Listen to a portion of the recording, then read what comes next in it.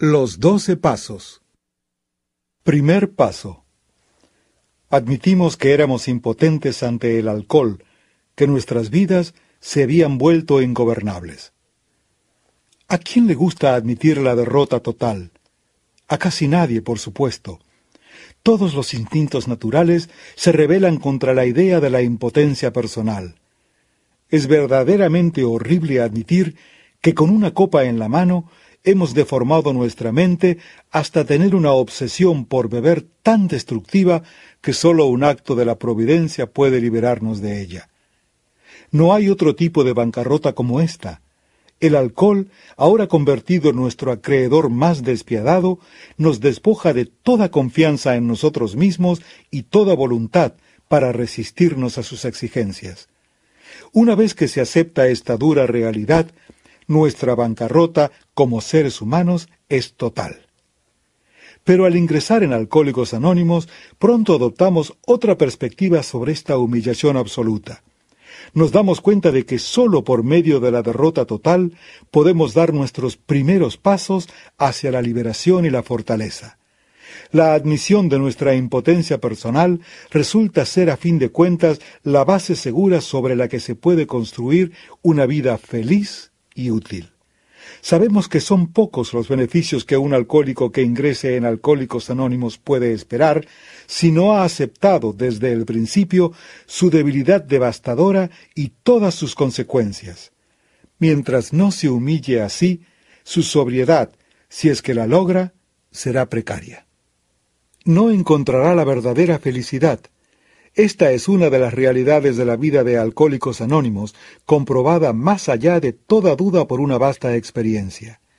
El principio de que no encontraremos una fortaleza duradera hasta que no hayamos admitido la derrota total es la raíz principal de la que ha brotado y florecido nuestra sociedad. Al vernos obligados a admitir la derrota, la mayoría de nosotros nos rebelamos. Habíamos acudido a Alcohólicos Anónimos con la esperanza de que se nos enseñara a tener confianza en nosotros mismos. Entonces se nos dijo que en lo concerniente al alcohol, la confianza en nosotros mismos no valía para nada, que de hecho era una gran desventaja. Nuestros padrinos nos dijeron que éramos víctimas de una obsesión mental tan sutilmente poderosa que ningún grado de voluntad humana podría vencerla se nos dijo que sin ayuda ajena no podía existir tal cosa como la victoria personal sobre esta obsesión. Complicando implacablemente nuestro dilema, nuestros padrinos señalaron nuestra creciente sensibilidad al alcohol. Una alergia la llamaban. El tirano alcohol blandía sobre nosotros una espada de doble filo. Primero nos veíamos afligidos por un loco deseo que nos condenaba a seguir bebiendo, y luego por una alergia corporal que aseguraba que acabaríamos destruyéndonos a nosotros mismos. Eran muy contados los que, acosados de esta manera, habían logrado ganar este combate mano a mano. Las estadísticas demostraban que los alcohólicos casi nunca se recuperaban por sus propios medios, y esto aparentemente había sido verdad desde que el hombre pisó las uvas por primera vez. Durante los años pioneros de Alcohólicos Anónimos, únicamente los casos más desesperados podían tragar y digerir esta dura verdad, e incluso estos moribundos tardaban mucho en darse cuenta de lo grave de su condición, pero unos cuantos sí se dieron cuenta, y cuando se aferraban a los principios de Alcohólicos Anónimos con todo el fervor con que un náufrago se agarra al salvavidas, casi sin excepción, empezaban a mejorarse. Por eso, la primera edición del libro Alcohólicos Anónimos, publicada cuando teníamos muy pocos miembros, trataba exclusivamente de casos de bajo fondo. Muchos alcohólicos menos desesperados probaron Alcohólicos Anónimos, pero no les dio resultado porque no podían admitir su impotencia. Es una tremenda satisfacción hacer constar que esta situación cambió en los años siguientes. Los alcohólicos, que todavía conservaban su salud, sus familias, sus trabajos e incluso tenían dos coches en su garaje, empezaron a reconocer su alcoholismo. Según aumentaba esta tendencia, se unieron a ellos jóvenes que apenas se podían considerar alcohólicos en potencia. Todos ellos se libraron de esos diez o quince años de auténtico infierno por los que el resto de nosotros habíamos tenido que pasar. Ya que el primer paso requiere que admitamos que nuestras vidas se habían vuelto ingobernables, ¿cómo iban a dar este paso personas como esas? Era claramente necesario levantar el fondo que el resto de nosotros habíamos tocado hasta el punto que les llegara a tocar a ellos. Al repasar nuestros historiales de bebedores, podíamos demostrar que años antes de darnos cuenta ya estábamos fuera de control, que incluso entonces nuestra forma de beber no era un simple hábito, sino que en verdad era el comienzo de una progresión fatal. A los que todavía lo dudaban, les podíamos decir, tal vez no seas alcohólico, ¿Por qué no tratas de seguir bebiendo de manera controlada, teniendo en cuenta mientras tanto lo que te hemos dicho acerca del alcoholismo? Esta actitud produjo resultados inmediatos y prácticos. Entonces, se descubrió que cuando un alcohólico había sembrado en la mente de otro la idea de la verdadera naturaleza de su enfermedad, esta persona nunca podría volver a ser la misma. Después de cada borrachera, se diría a sí mismo, tal vez esos alcohólicos anónimos tenían razón. Tras unas cuantas experiencias parecidas, a menudo años antes del comienzo de graves dificultades, volvería a nosotros convencido. Había tocado su fondo con la misma contundencia que cualquiera de nosotros. La bebida se había convertido en nuestro mejor abogado. ¿Por qué tanta insistencia en que todo alcohólico anónimo toque fondo primero? La respuesta es que muy poca gente tratará de practicar sinceramente el programa de Alcohólicos Anónimos a menos que haya tocado fondo.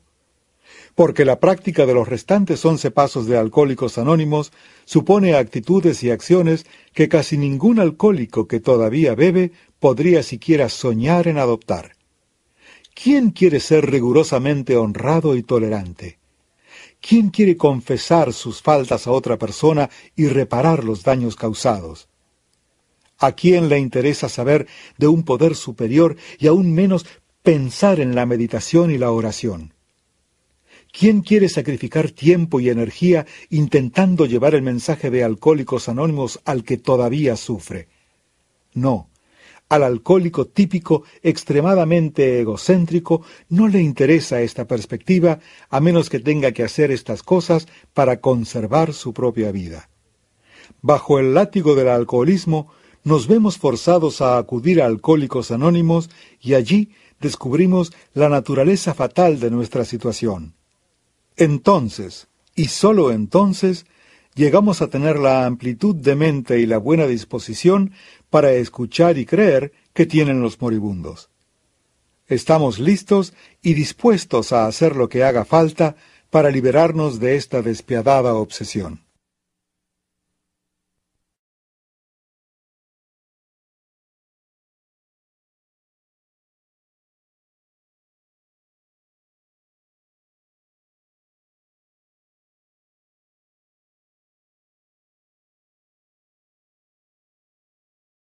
Segundo paso. Llegamos a creer que un poder superior a nosotros mismos podría devolvernos el sano juicio.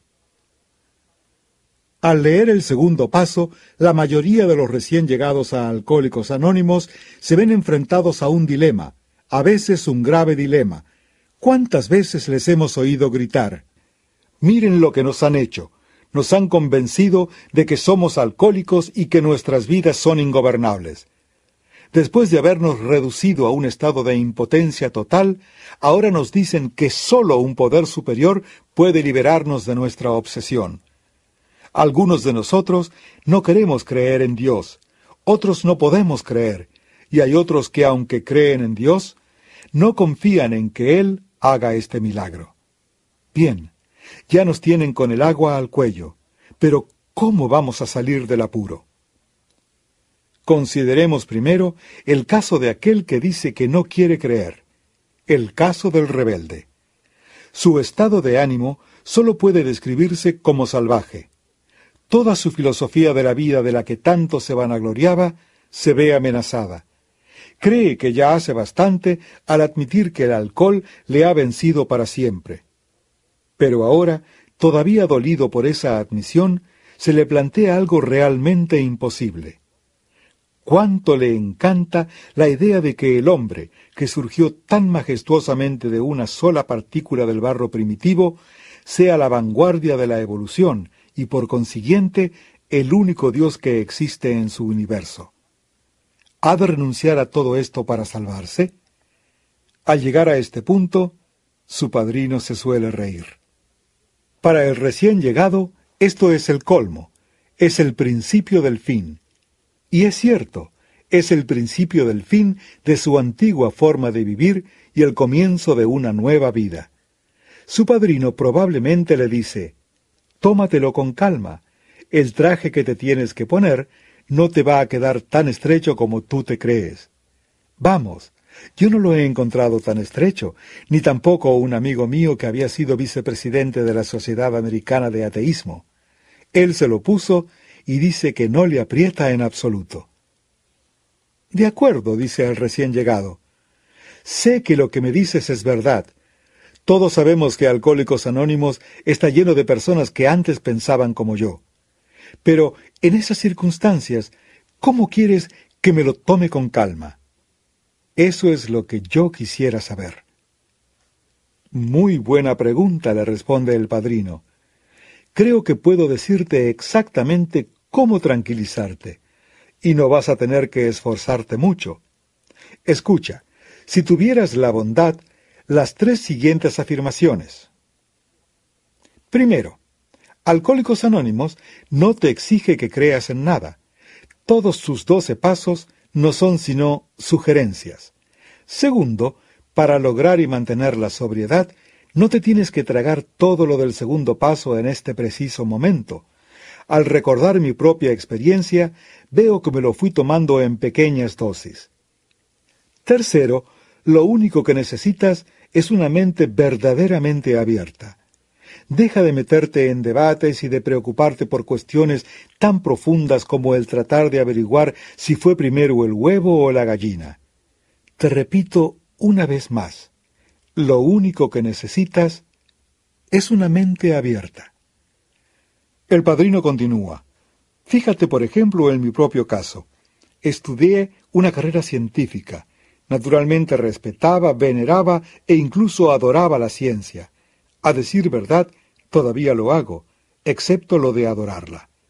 Repetidas veces, mis maestros me expusieron el principio básico de todo progreso científico, investigar y volver a investigar, una y otra vez y siempre con una mente abierta. La primera vez que eché una mirada al programa de Alcohólicos Anónimos, mi reacción fue exactamente como la tuya. Este asunto de Alcohólicos Anónimos, me dije, no es nada científico. No puedo tragarlo. No me voy a parar a considerar tales tonterías. Luego me desperté. Tuve que admitir que Alcohólicos Anónimos producía resultados, prodigiosos resultados. Me di cuenta de que mi actitud ante estos había sido muy poco científica. No era Alcohólicos Anónimos quien tenía la mente cerrada, sino yo. En el instante en que dejé de debatir, pude empezar a ver y sentir. En ese momento, el segundo paso, sutil y gradualmente, empezó a infiltrarse en mi vida. No puedo fijar ni la ocasión ni el día preciso en que llegué a creer en un poder superior a mí mismo, pero sin duda ahora tengo esa creencia. Para llegar a tenerla, solo tenía que dejar de luchar y ponerme a practicar el resto del programa de Alcohólicos Anónimos con el mayor entusiasmo posible. Claro está que esta es la opinión de un solo hombre basada en su propia experiencia. Me apresuro a asegurarte que en su búsqueda de la fe, los alcohólicos anónimos andan por innumerables caminos. Si no te gusta el que te he sugerido, seguro que descubrirás uno que te convenga si mantienes abiertos los ojos y los oídos. Muchos hombres como tú han empezado a solucionar el problema por el método de la sustitución. Si quieres, puedes hacer de Alcohólicos Anónimos tu poder superior. Aquí tienes un grupo grande de gente que ha resuelto su problema con el alcohol. En este sentido, constituye sin duda un poder superior a ti, ya que tú ni siquiera te has aproximado a encontrar una solución. Seguro que puedes tener fe en ellos. Incluso este mínimo de fe será suficiente. Vas a encontrar a muchos miembros que han cruzado el umbral exactamente así. Todos te dirán que una vez que lo cruzaron, su fe se amplió y se profundizó. Liberados de la obsesión del alcohol, con sus vidas inexplicablemente transformadas, llegaron a creer en un poder superior, y la mayoría de ellos empezaron a hablar de Dios. Consideremos ahora la situación de aquellos que antes tenían fe, pero la han perdido. Entre ellos se encuentran los que han caído en la indiferencia, otros que llenos de autosuficiencia se han apartado, otros que han llegado a tener prejuicios en contra de la religión, y otros más que han adoptado una actitud desafiante, porque Dios no les ha complacido en sus exigencias. ¿Puede la experiencia de Alcohólicos Anónimos decirle a todos ellos que todavía les es posible encontrar una fe que obra? A veces el programa de Alcohólicos Anónimos les resulta más difícil a aquellos que han perdido o han rechazado la fe que a aquellos que nunca la han tenido, porque creen que ya han probado la fe y no les ha servido de nada. Han probado el camino de la fe y el camino de la incredulidad. Ya que ambos caminos les han dejado amargamente decepcionados, han decidido que no tienen a dónde ir.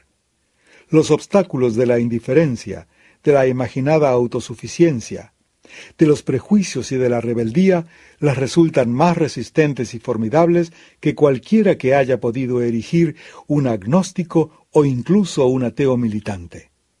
La religión dice que se puede demostrar la existencia de Dios, el agnóstico dice que no se puede demostrar, y el ateo mantiene que se puede demostrar que Dios no existe.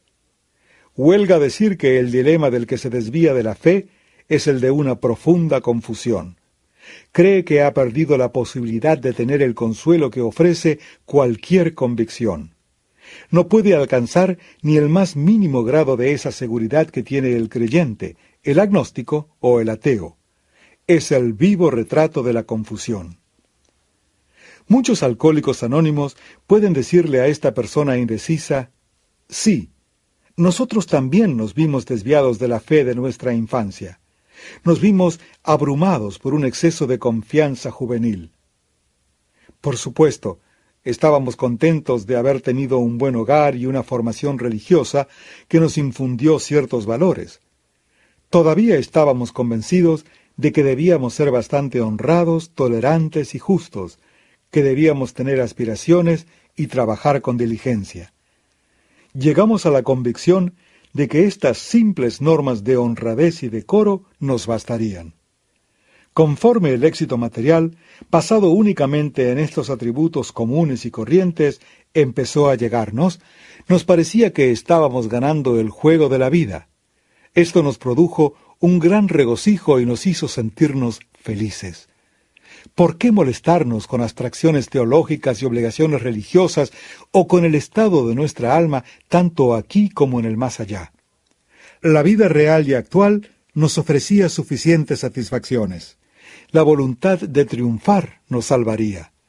Pero entonces el alcohol empezó a apoderarse de nosotros. Finalmente, al mirar al marcador y no ver ningún tanto a nuestro favor y darnos cuenta de que con un fallo más nos quedaríamos para siempre fuera de juego, tuvimos que buscar nuestra fe perdida. La volvimos a encontrar en Alcohólicos Anónimos, y tú también puedes hacer lo mismo. Ahora nos enfrentamos con otro tipo de problema. El hombre o la mujer intelectualmente autosuficiente. A estas personas Muchos alcohólicos anónimos les pueden decir, sí, éramos como tú, nos pasábamos de listos. Nos encantaba que la gente nos considerara precoces. Nos valíamos de nuestra educación para inflarnos de orgullo como globos, aunque hacíamos lo posible para ocultar esta actitud ante los demás. En nuestro fuero interno creíamos que podíamos flotar por encima del resto de la humanidad debido únicamente a nuestra capacidad cerebral. El progreso científico nos indicaba que no había nada que el hombre no pudiera hacer. El saber era todopoderoso. El intelecto podía conquistar la naturaleza. Ya que éramos más inteligentes que la mayoría de la gente, o así lo creíamos, con solo ponernos a pensar tendríamos el botín del vencedor. El Dios del intelecto desplazó al Dios de nuestros antepasados. Pero nuevamente, don Alcohol tenía otros planes. Nosotros que tanto habíamos ganado casi sin esfuerzo, lo perdimos todo. Nos dimos cuenta de que si no volviéramos a considerarlo, moriríamos. Encontramos muchos en Alcohólicos Anónimos que habían pensado como nosotros. Nos ayudaron a desinflarnos hasta llegar a nuestro justo tamaño. Con su ejemplo, nos demostraron que la humildad y el intelecto podían ser compatibles, con tal de que siempre antepusiéramos la humildad al intelecto. Cuando empezamos a hacerlo, recibimos el don de la fe, una fe que obra. Esta fe también la puedes recibir tú. Otro sector de Alcohólicos Anónimos dice, estábamos hartos de la religión y de todo lo que conlleva la religión. La Biblia nos parecía una sarda de tonterías. Podíamos citarla versículo por versículo, y en la maraña de genealogías perdíamos de vista las bienaventuranzas. A veces, según lo veíamos nosotros, la conducta moral que proponía era inalcanzablemente buena, a veces indudablemente nefasta. Pero lo que más nos molestaba era la conducta moral de los religiosos. Nos entreteníamos señalando la hipocresía, la fanática intolerancia y el aplastante fariseísmo que caracterizaban a tantos de los creyentes, incluso en sus trajes de domingo. Cuánto nos encantaba recalcar el hecho de que millones de los buenos hombres de la religión seguían matándose los unos a los otros en nombre de Dios. Todo esto, por supuesto, significaba que habíamos sustituido los pensamientos positivos por los negativos. Después de unirnos a Alcohólicos Anónimos, tuvimos que darnos cuenta de que esa actitud nos había servido para inflar nuestros egos. Al destacar los pecados de algunas personas religiosas, podíamos sentirnos superiores a todos los creyentes. Además, podíamos evitarnos la molestia de reconocer algunos de nuestros propios defectos. El fariseísmo, que tan desdeñosamente habíamos condenado en los demás, era precisamente el mal que a nosotros nos aquejaba. Esta respetabilidad hipócrita era nuestra ruina en cuanto a la fe. Pero finalmente, al llegar derrotados a Alcohólicos Anónimos, cambiamos de parecer. Como los psiquiatras han comentado a menudo, la rebeldía es la característica más destacada de muchos alcohólicos, así que no es de extrañar que muchos de nosotros hayamos pretendido desafiar al mismo Dios. A veces lo hemos hecho porque Dios no nos ha entregado las buenas cosas de la vida que le habíamos exigido, como niños codiciosos que escriben cartas a los reyes magos pidiendo lo imposible. Más a menudo habíamos pasado por una gran calamidad, y según nuestra forma de pensar, salimos perdiendo porque Dios nos había abandonado. La muchacha con quien queríamos casarnos tenía otras ideas. Rezamos a Dios para que le hiciera cambiar de parecer, pero no lo hizo. Rezamos por tener hijos sanos y nos encontramos con hijos enfermizos o sin hijos. Rezamos por conseguir ascensos en el trabajo y nos quedamos sin conseguirlos. Los seres queridos, de quienes tanto dependíamos, nos fueron arrebatados por los llamados actos de Dios. Luego nos convertimos en borrachos y le pedimos a Dios que nos salvara. Pero no pasó nada. Esto ya era el colmo. Al diablo con esto de la fe, dijimos. Cuando encontramos alcohólicos anónimos, se nos reveló lo erróneo de nuestra rebeldía. Nunca habíamos querido saber cuál era la voluntad de Dios para con nosotros. Por el contrario, le habíamos dicho a Dios cuál debería ser. Nos dimos cuenta de que nadie podía creer en Dios y al mismo tiempo desafiarle. Creer significaba confiar, no desafiar. En Alcohólicos Anónimos vimos los frutos de esta creencia, hombres y mujeres salvados de la catástrofe final del alcoholismo. Les vimos reunirse y superar sus otras penas y tribulaciones. Les vimos aceptar con calma situaciones imposibles, sin tratar de huir de ellas ni de reprochárselo a nadie. Esto no sólo era fe, sino una fe que obraba bajo todas las circunstancias. Para conseguir esta fe, no tardamos en encontrarnos dispuestos a pagar con toda la humildad que esto nos pudiera costar. Consideremos ahora el caso del individuo rebosante de fe, pero que todavía apesta a alcohol. Se cree muy devoto, cumple escrupulosamente con sus obligaciones religiosas, está convencido de que cree todavía en Dios, pero duda que Dios crea en él. Hace un sinfín de juramentos solemnes. Después de cada uno, no sólo vuelve a beber, sino que se comporta peor que la última vez. Valientemente se pone a luchar contra el alcohol, suplicando la ayuda de Dios, pero la ayuda no le llega. ¿Qué será lo que le pasa a esta persona? Para los clérigos, los médicos, para sus amigos y familiares, el alcohólico que tiene tan buenas intenciones y que tan resueltamente se esfuerza por dejar de beber, es un enigma descorazonador. A la mayoría de los alcohólicos anónimos no les parece así. Multitud de nosotros hemos sido como él y hemos encontrado la solución al enigma. No tiene que ver con la cantidad de fe, sino con la calidad. Esto era lo que no podíamos ver. Nos creíamos humildes, pero no lo éramos. Nos creíamos muy devotos en cuanto a las prácticas religiosas, pero al volver a considerarlo con toda sinceridad, nos dimos cuenta de que sólo practicábamos lo superficial. Otros de nosotros habíamos ido al otro extremo, sumiéndonos en el sentimentalismo y confundiéndolo con los auténticos sentimientos religiosos.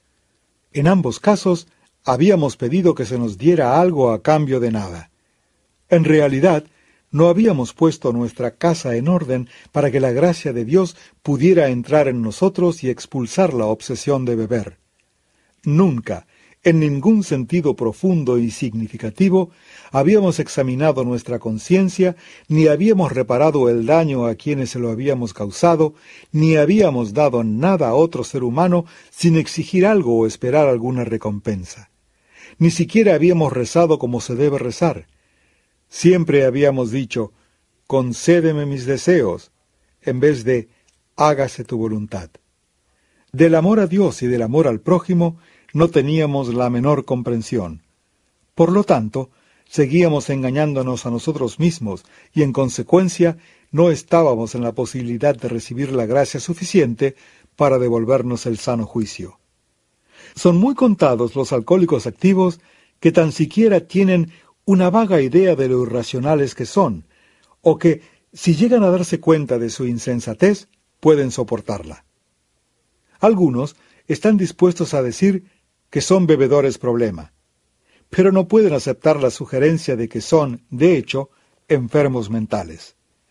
Un mundo que no distingue entre el bebedor normal y el alcohólico contribuye a que sigan en su ceguera.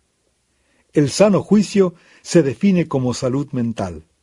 Ningún alcohólico que analice fríamente su comportamiento destructivo, ya sea que haya destruido los muebles de su casa o su propia integridad moral, puede atribuirse a sí mismo la salud mental.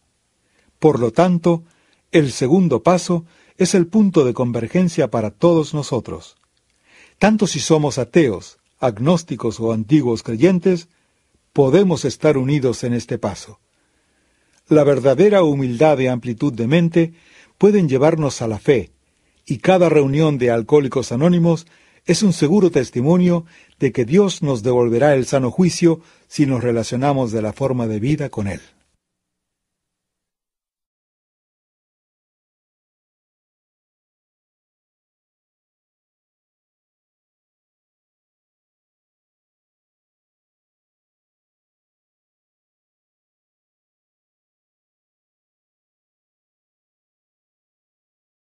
Tercer paso.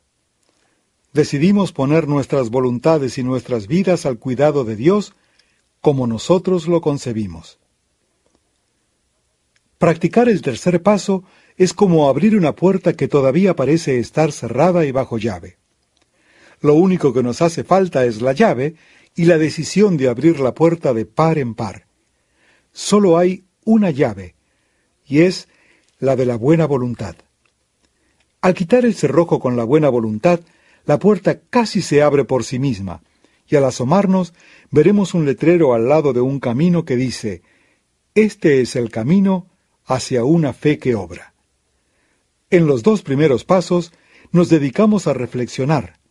Nos dimos cuenta de que éramos impotentes ante el alcohol, pero también vimos que algún tipo de fe, aunque solo fuera una fe en alcohólicos anónimos, es posible para cualquiera. Estas conclusiones no nos exigían ninguna acción, solo nos requerían la aceptación. Como todos los pasos restantes, el paso 3 requiere de nosotros acción positiva, porque solo poniéndonos en acción podemos eliminar la obstinación que siempre ha bloqueado la entrada de Dios, o si prefieres, de un poder superior en nuestras vidas. La fe, sin duda, es necesaria, pero la fe por sí sola de nada sirve. Es posible tener fe y al mismo tiempo negar la entrada de Dios en nuestra vida. Por lo tanto, el problema que ahora nos ocupa es el de encontrar las medidas específicas que debemos tomar para poder dejarle entrar. El tercer paso representa nuestra primera tentativa para hacerlo. De hecho, la eficacia de todo el programa de Alcohólicos Anónimos dependerá de lo seria y diligentemente que hayamos intentado llegar a una decisión de poner nuestras voluntades y nuestras vidas al cuidado de Dios como nosotros lo concebimos. A cada principiante mundano y práctico, este paso le parece difícil e incluso imposible. Por mucho que desee tratar de hacerlo, ¿cómo puede exactamente poner su voluntad y su propia vida al cuidado de cualquier Dios que él cree que existe? Afortunadamente, los que lo hemos intentado con el mismo recelo, podemos atestiguar que cualquiera, sea quien sea, puede empezar a hacerlo. Además, podemos agregar que un comienzo, incluso el más tímido, es lo único que hace falta. Una vez que hemos metido la llave de la buena voluntad en la cerradura y tenemos la puerta entreabierta, nos damos cuenta de que siempre podemos abrirla un poco más. Aunque la obstinación puede cerrarla otra vez de un portazo, como a menudo lo hace, siempre se volverá a abrir tan pronto como nos valgamos de la llave de la buena voluntad. Puede que todo esto te suene misterioso y oculto, algo parecido a la teoría de la relatividad de Einstein o a una hipótesis de física nuclear. No lo es en absoluto. Veamos lo práctico que realmente es. Cada hombre y cada mujer que se ha unido a Alcohólicos Anónimos con intención de quedarse con nosotros, ya ha comenzado a practicar, sin darse cuenta, el tercer paso. ¿No es cierto que en todo lo que se refiere al alcohol, cada uno de ellos ha decidido poner su vida al cuidado y bajo la protección y orientación de Alcohólicos Anónimos?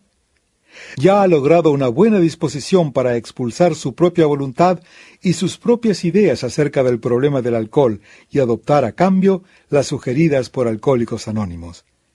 Todo principiante bien dispuesto se siente convencido de que Alcohólicos Anónimos es el único refugio seguro para el barco a punto de hundirse en que se ha convertido su vida. Si esto no es entregar su voluntad y su vida a una providencia recién encontrada, entonces, ¿qué es? Pero supongamos que el instinto todavía nos proteste a gritos como sin duda lo hará. Sí, en cuanto al alcohol, parece que tengo que depender de alcohólicos anónimos, pero en todos los demás asuntos insisto en mantener mi independencia. No hay nada que me vaya a transformar en una nulidad. Si sigo poniendo mi vida y mi voluntad al cuidado de alguien o de algo, ¿qué será de mí? Me convertiré en un cero a la izquierda. Este, por supuesto, es el proceso por el que el instinto y la lógica intentan reforzar el egotismo y así frustran el desarrollo espiritual. Lo que esta forma de pensar tiene de malo es el no tener en cuenta los hechos reales. Y los hechos parecen ser los siguientes.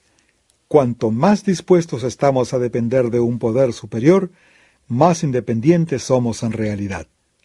Por lo tanto, la dependencia, tal y como se practica en Alcohólicos Anónimos, es realmente una manera de lograr la verdadera independencia del espíritu. Examinemos por un minuto esta idea de la dependencia al nivel de la vida cotidiana. Es asombroso descubrir lo dependientes que somos en esta esfera y lo poco conscientes que somos de esta dependencia. Todas las casas modernas tienen cables eléctricos que conducen la energía y la luz a su interior. Nos encanta esta dependencia. No queremos por nada en el mundo que se nos corte el suministro eléctrico. Al aceptar así nuestra dependencia de esta maravilla de la ciencia, disfrutamos de una mayor independencia personal. No solo disfrutamos de más independencia, sino también de más comodidad y seguridad. La corriente fluye hasta llegar a donde se necesite. La electricidad, esa extraña energía que muy poca gente comprende, satisface silenciosa y eficazmente nuestras necesidades diarias más sencillas y también las más apremiantes. Pregúntale, si no, al enfermo de polio, encerrado en un pulmón de acero que depende ciegamente de un motor eléctrico para poder seguir respirando. Pero, ¿cómo cambia nuestra actitud cuando se trata de nuestra independencia mental o emocional? Con cuánta insistencia reclamamos el derecho de decidir por nosotros mismos precisamente lo que vamos a pensar y exactamente lo que vamos a hacer. Sí, vamos a sopesar el pro y el contra de todo problema. Escucharemos cortésmente a los que quieran aconsejarnos, pero solamente nosotros tomaremos las decisiones. En tales asuntos nadie va a limitar nuestra independencia personal. Además, creemos que no hay nadie que merezca toda nuestra confianza. Estamos convencidos de que nuestra inteligencia, respaldada por nuestra fuerza de voluntad, puede controlar debidamente nuestra vida interior y asegurar nuestro éxito en el mundo en que vivimos. Esta brava filosofía, según la cual cada hombre hace el papel de Dios, suena muy bien, pero todavía tiene que someterse a la prueba decisiva. ¿Cómo va a funcionar en la práctica? Una detenida mirada al espejo debe ser suficiente respuesta para cualquier alcohólico. Si su imagen en el espejo le resulta demasiado horrorosa de contemplar, y suele ser así, no estaría de más que el alcohólico echara una mirada a los resultados que la gente normal obtiene con la autosuficiencia. En todas partes ve a gente colmada de ira y de miedo. Ve a sociedades desintegrándose en facciones que luchan entre sí. Cada facción le dice a las otras, nosotros tenemos razón y ustedes están equivocados. Cada grupo de presión de este índole, si tiene fuerza suficiente, impone su voluntad en los demás, convencido de la rectitud de su causa. Y en todas partes se hace lo mismo en plan individual. El resultado de tanta lucha es una paz cada vez más frágil y una hermandad cada vez menor. La filosofía de la autosuficiencia no es rentable, se puede ver claramente que es un monstruo devastador que acabará llevándonos a la ruina total. Por lo tanto, nosotros los alcohólicos nos podemos considerar muy afortunados.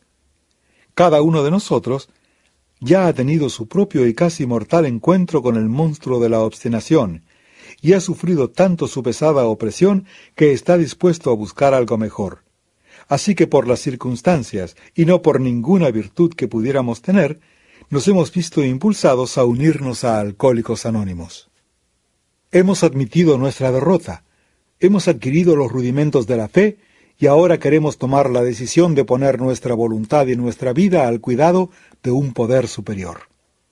Nos damos cuenta de que la palabra dependencia es tan desagradable para muchos psiquiatras y psicólogos como lo es para los alcohólicos.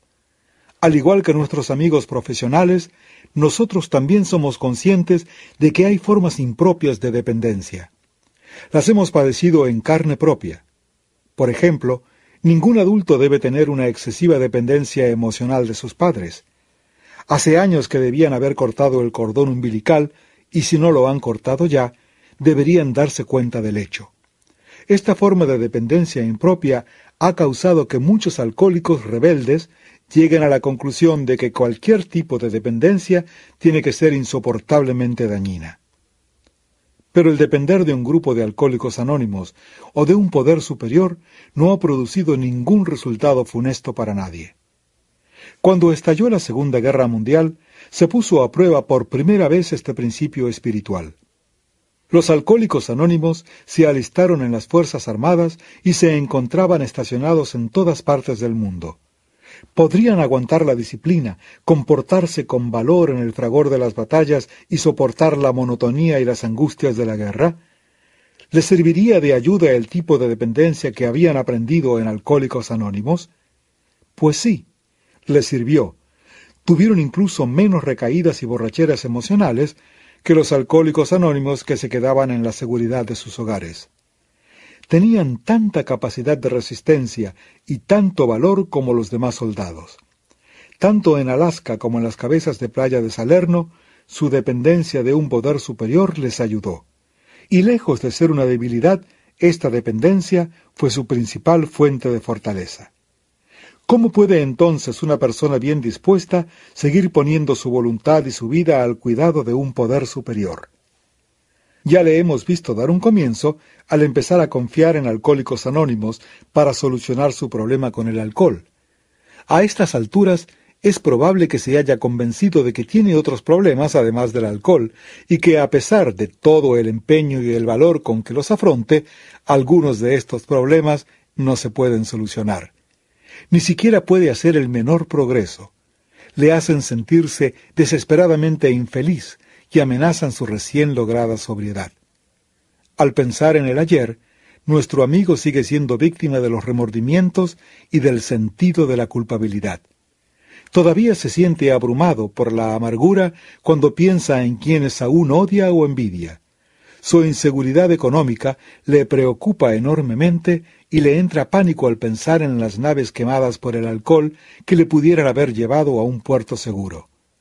¿Y cómo va a arreglar este lío que le costó el afecto de su familia y le separó de ella?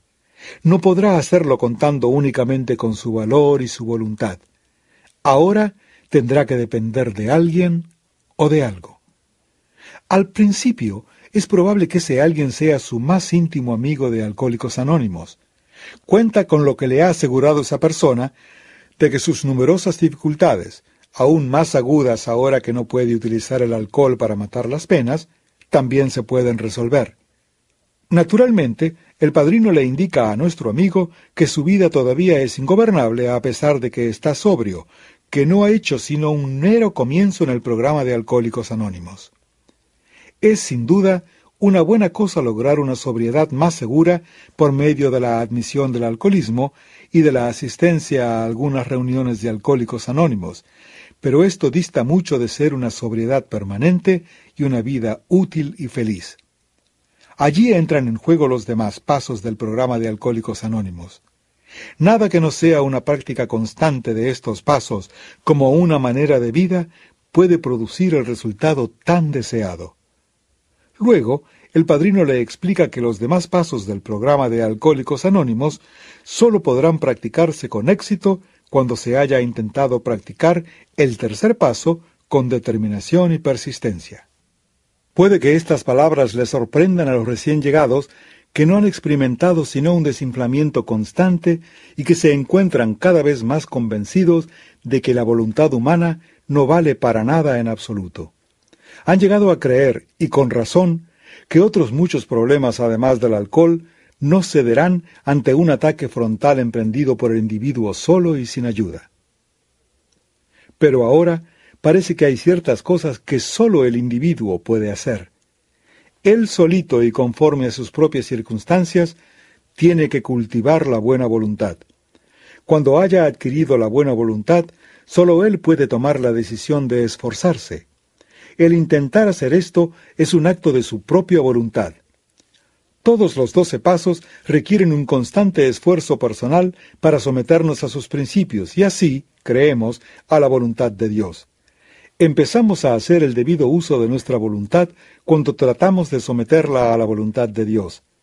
Para todos nosotros, esta fue una maravillosa revelación. Todas nuestras dificultades se habían originado en el mal uso de la fuerza de voluntad. Habíamos tratado de bombardear nuestros problemas con ella en lugar de intentar hacerla coincidir con los designios que Dios tenía para nosotros. El objetivo de los doce pasos de Alcohólicos Anónimos es hacer esto posible cada vez más, y el tercer paso nos abre la puerta. Una vez que estemos de acuerdo con estas ideas, es muy fácil empezar a practicar el tercer paso. En todo momento de trastornos emocionales o indecisiones, podemos hacer una pausa, pedir tranquilidad y en la quietud decir simplemente, Dios, concédeme la serenidad para aceptar las cosas que no puedo cambiar, el valor para cambiar las cosas que puedo y la sabiduría para reconocer la diferencia. Hágase tu voluntad, no la mía.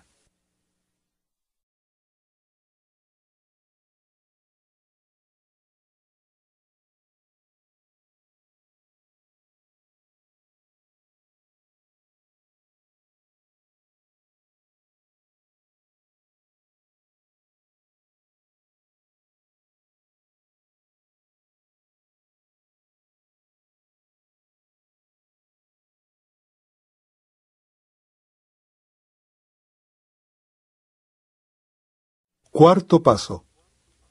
Sin miedo hicimos un minucioso inventario moral de nosotros mismos. Al ser creados, fuimos dotados de instintos para un propósito. Sin ellos, no seríamos seres humanos completos. Si los hombres y las mujeres no se esforzaran por tener seguridad personal, si no se molestaran en cosechar su alimento o en construir sus moradas, no podrían sobrevivir. Si no se reprodujeran, la tierra no estaría poblada. Si no hubiera ningún instinto social, si a los seres humanos no les importara disfrutar de la compañía de sus semejantes, no existiría sociedad alguna.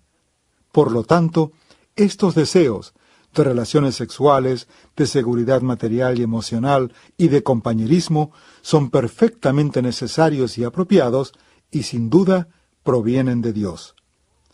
No obstante, estos instintos, tan necesarios para nuestra existencia, a menudo sobrepasan con mucho los límites de su función apropiada. Poderosa y ciegamente, y muchas veces de una manera sutil, nos impulsan, se apoderan de nosotros e insisten en dominar nuestras vidas.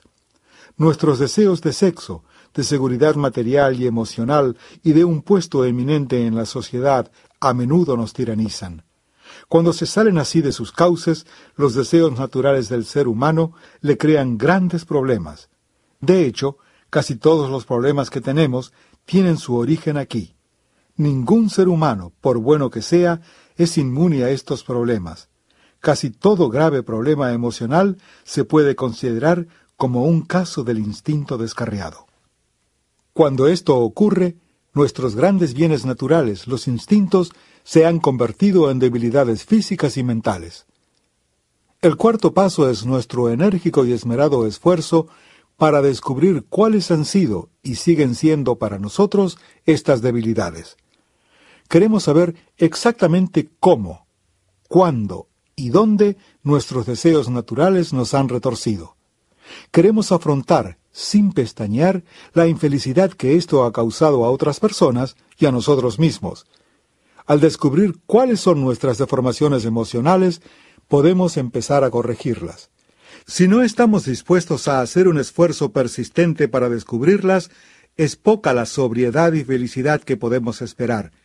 La mayoría de nosotros nos hemos dado cuenta de que, sin hacer sin miedo un minucioso inventario moral, la fe que realmente obra en la vida cotidiana se encuentra todavía fuera de nuestro alcance.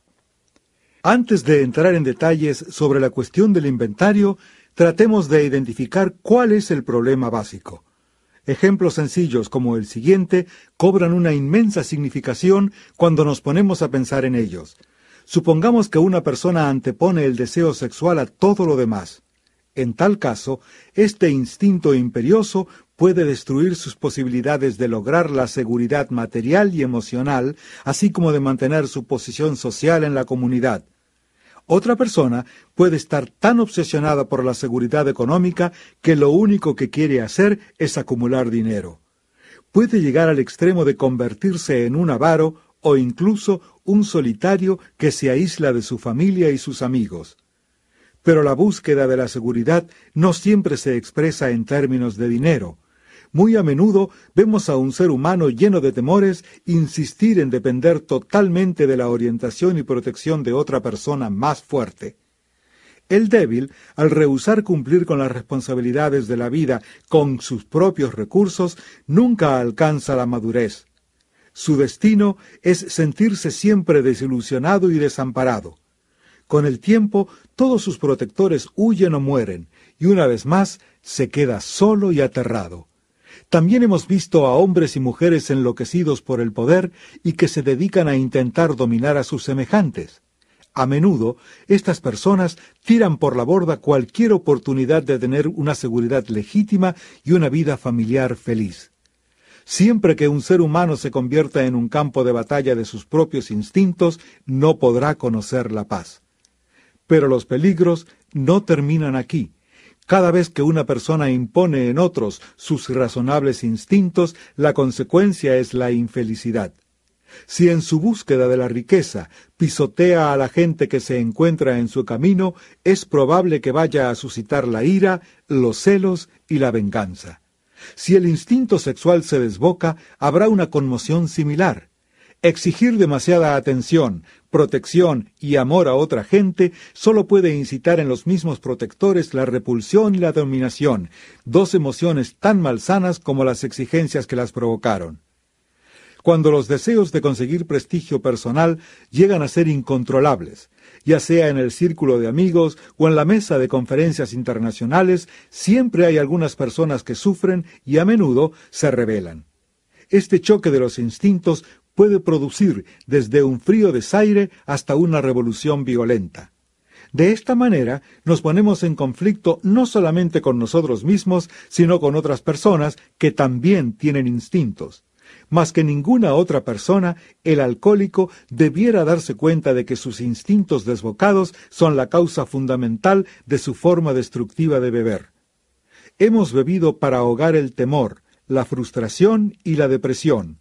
Hemos bebido para escapar de los sentimientos de culpabilidad ocasionados por nuestras pasiones, y luego hemos vuelto a beber para reavivar esas pasiones.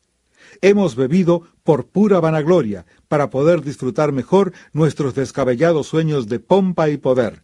No es muy grato contemplar esta perversa enfermedad del alma. Los instintos desbocados se resisten a ser analizados. En cuanto intentamos hacer un serio esfuerzo por examinarlos, es probable que suframos una reacción desagradable. Si por temperamento tendemos al lado depresivo, es probable que nos veamos inundados de un sentimiento de culpabilidad y de odio hacia nosotros mismos. Nos sumimos en este pantano sucio del que a menudo sacamos un placer perverso y doloroso. Al entregarnos mórbidamente a esta actividad melancólica, puede que nos hundamos en la desesperación hasta tal punto que sólo el olvido nos parece la única solución posible. En este punto, por supuesto, hemos perdido toda perspectiva y por lo tanto la auténtica humildad. Porque esto es la otra cara del orgullo. No es en absoluto un inventario moral, es el mismo proceso que muy a menudo ha llevado a la persona depresiva a la botella y a la extinción. Sin embargo, si por naturaleza nos inclinamos hacia la hipocresía o la grandiosidad, nuestra reacción será la opuesta. Nos sentiremos ofendidos por el inventario sugerido de alcohólicos anónimos. Sin duda, aludiremos con orgullo a la vida virtuosa que creíamos haber llevado antes de que la botella nos derrotara. Insistiremos que nuestros graves defectos de carácter, si es que creemos tener alguno, han sido causados principalmente por haber bebido en exceso. Siendo este el caso, creemos que lo que se deriva lógicamente es que la sobriedad es la única meta que tenemos que intentar lograr. Creemos que tan pronto como dejemos el alcohol, nuestro buen carácter renacerá. Si siempre habíamos sido buenas personas, excepto por nuestra forma de beber, ¿qué necesidad tenemos de hacer un inventario moral ahora que estamos sobrios? También nos agarramos a otra magnífica excusa para evitar el inventario. Exclamamos que nuestros problemas e inquietudes actuales están causados por el comportamiento de otra gente, gente que realmente necesita hacer un inventario moral. Creemos firmemente que si solo nos trataran mejor, no tendríamos ningún problema. Por lo tanto, creemos que nuestra indignación está justificada y es razonable, que nuestros resentimientos son bien apropiados. Nosotros no somos los culpables, son ellos. En esta etapa del inventario, nuestros padrinos vienen a rescatarnos. Pueden hacer esto porque son los portadores de la experiencia comprobada de Alcohólicos Anónimos con el cuarto paso. Consuelan a la persona melancólica primero mostrándole que no es un caso extraño ni diferente, que probablemente sus defectos de carácter no son ni más numerosos ni peores que los de cualquier otro miembro de Alcohólicos Anónimos. El padrino demuestra esto rápidamente, hablando abierta y francamente y sin exhibicionismo acerca de sus propios defectos antiguos y actuales. Este inventario sereno y a la vez realista es inmensamente tranquilizador.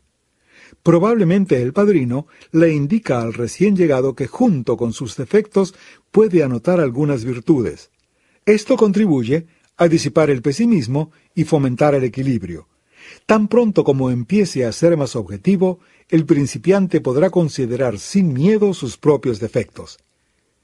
Los padrinos de los que creen que no necesitan hacer un inventario se ven enfrentados con un problema muy diferente, porque la gente impulsada por el orgullo de sí misma, inconscientemente, se niega a ver sus defectos.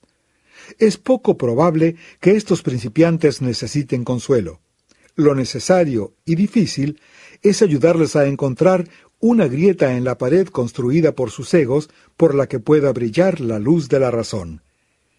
Para empezar, se les puede decir que la mayoría de los alcohólicos anónimos, en sus días de bebedores, estuvieron gravemente afligidos por la autojustificación. Para la mayoría de nosotros, la autojustificación era lo que nos daba excusas, excusas para beber, por supuesto, y para todo tipo de conducta disparatada y dañina. Éramos artistas en la invención de pretextos. Teníamos que beber porque estábamos pasándolo muy mal, o muy bien. Teníamos que beber porque en nuestros hogares nos agobiaban con amor o porque no recibíamos amor alguno. Teníamos que beber porque en nuestros trabajos teníamos un gran éxito o porque habíamos fracasado. Teníamos que beber porque nuestro país había ganado una guerra o perdido la paz. Y así fue, ad infinitum. Creíamos que las circunstancias nos impulsaban a beber, y cuando habíamos intentado corregir estas circunstancias, al ver que no podíamos hacerlo a nuestra plena satisfacción, empezamos a beber de forma desenfrenada y nos convertimos en alcohólicos. Nunca se nos ocurrió pensar que nosotros éramos quienes teníamos que cambiar para ajustarnos a las circunstancias, fueran cuales fueran. Pero en Alcohólicos Anónimos, poco a poco, llegamos a darnos cuenta de que teníamos que hacer algo respecto a nuestros resentimientos vengativos, a nuestra autoconmiseración y nuestro poco merecido orgullo. Teníamos que reconocer que cada vez que nos la dábamos de personajes, la gente se volvía en contra nuestra. Teníamos que reconocer que cuando albergábamos rencores y planeábamos vengarnos por tales derrotas, en realidad nos estábamos dando golpes a nosotros mismos con el garrote de la ira, golpes que habíamos querido asestar a otros. Nos dimos cuenta de que si nos sentíamos gravemente alterados, lo primero que teníamos que hacer era apaciguarnos, sin importarnos la persona o las circunstancias que nosotros creyéramos responsables de nuestro trastorno. A muchos de nosotros nos costaba mucho tiempo ver lo engañados que estábamos por nuestras volubles emociones. Podíamos verlas rápidamente en otras personas, pero tardábamos mucho en verlas en nosotros mismos. Ante todo, era necesario admitir que teníamos muchos de esos defectos, aunque el hacerlo nos causara mucho dolor y humillación. En lo que respecta a otra gente, teníamos que eliminar la palabra culpa de nuestro vocabulario y de nuestros pensamientos. Para poder empezar a hacer esto, nos hacía falta mucha buena voluntad. Pero una vez salvados los dos o tres primeros obstáculos, el camino nos parecía cada vez más fácil de seguir, porque habíamos empezado a vernos en nuestra justa medida, es decir, habíamos adquirido más humildad.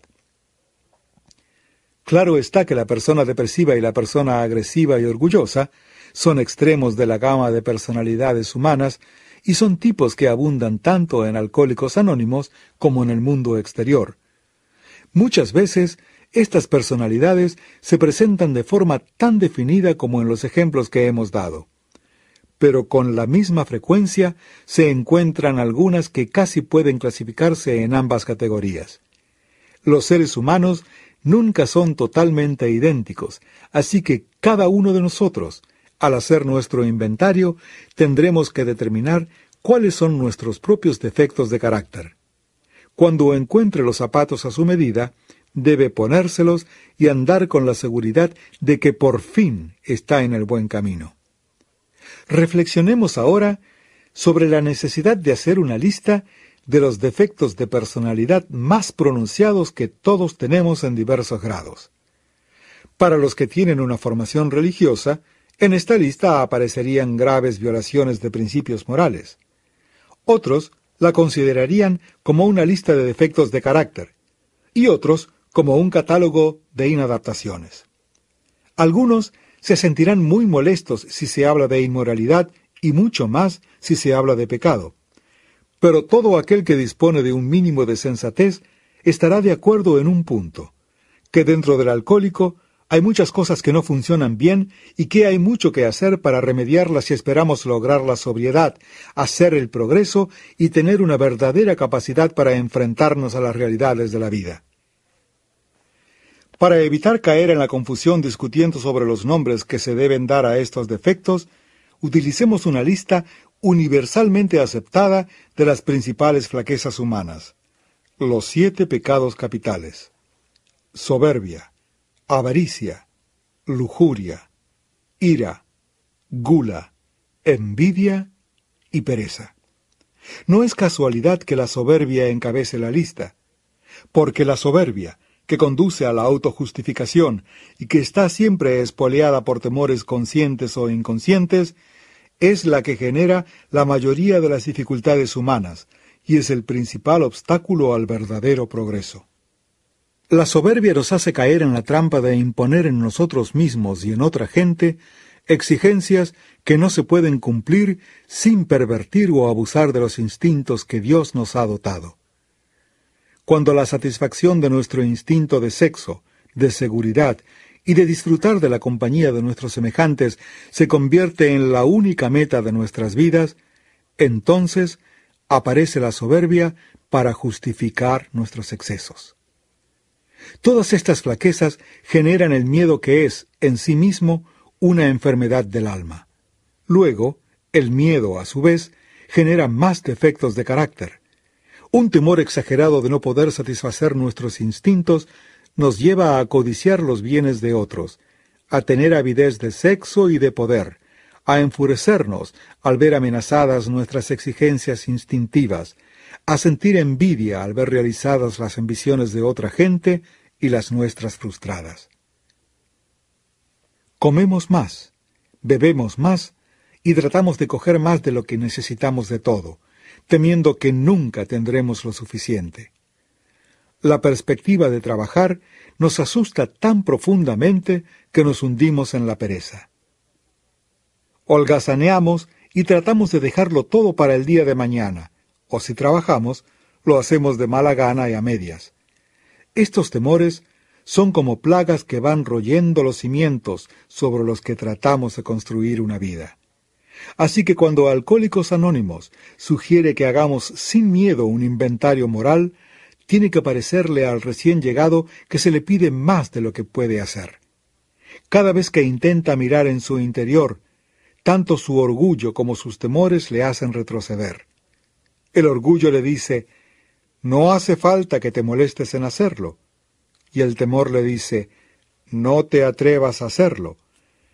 Pero según el testimonio de los alcohólicos anónimos que han intentado sinceramente hacer un inventario moral, el orgullo y el miedo en estos momentos no son sino espantajos. Una vez que estemos plenamente dispuestos a hacer nuestro inventario y que nos dediquemos a hacerlo con todo esmero, una luz inesperada nos llega para disipar la neblina. Conforme perseveramos en el intento, nace una nueva seguridad, y el alivio que sentimos al enfrentarnos por fin con nosotros mismos es indescriptible. Estos son los primeros frutos del cuarto paso. Al llegar a este punto, es probable que el principiante haya sacado las siguientes conclusiones. Que sus defectos de carácter, que representan sus instintos descarriados, han sido la causa primordial de su forma de beber y de su fracaso en la vida. Que a no ser que esté dispuesto a trabajar diligentemente para eliminar sus peores defectos, tanto la sobriedad como la tranquilidad de mente quedarán fuera de su alcance. Que tendrá que derribar los cimientos defectuosos de su vida y volver a construirlos sobre roca firme. Ahora, dispuesto a empezar la búsqueda de sus propios defectos, se preguntará a sí mismo, ¿cómo debo proceder exactamente? ¿Cómo hago un inventario personal?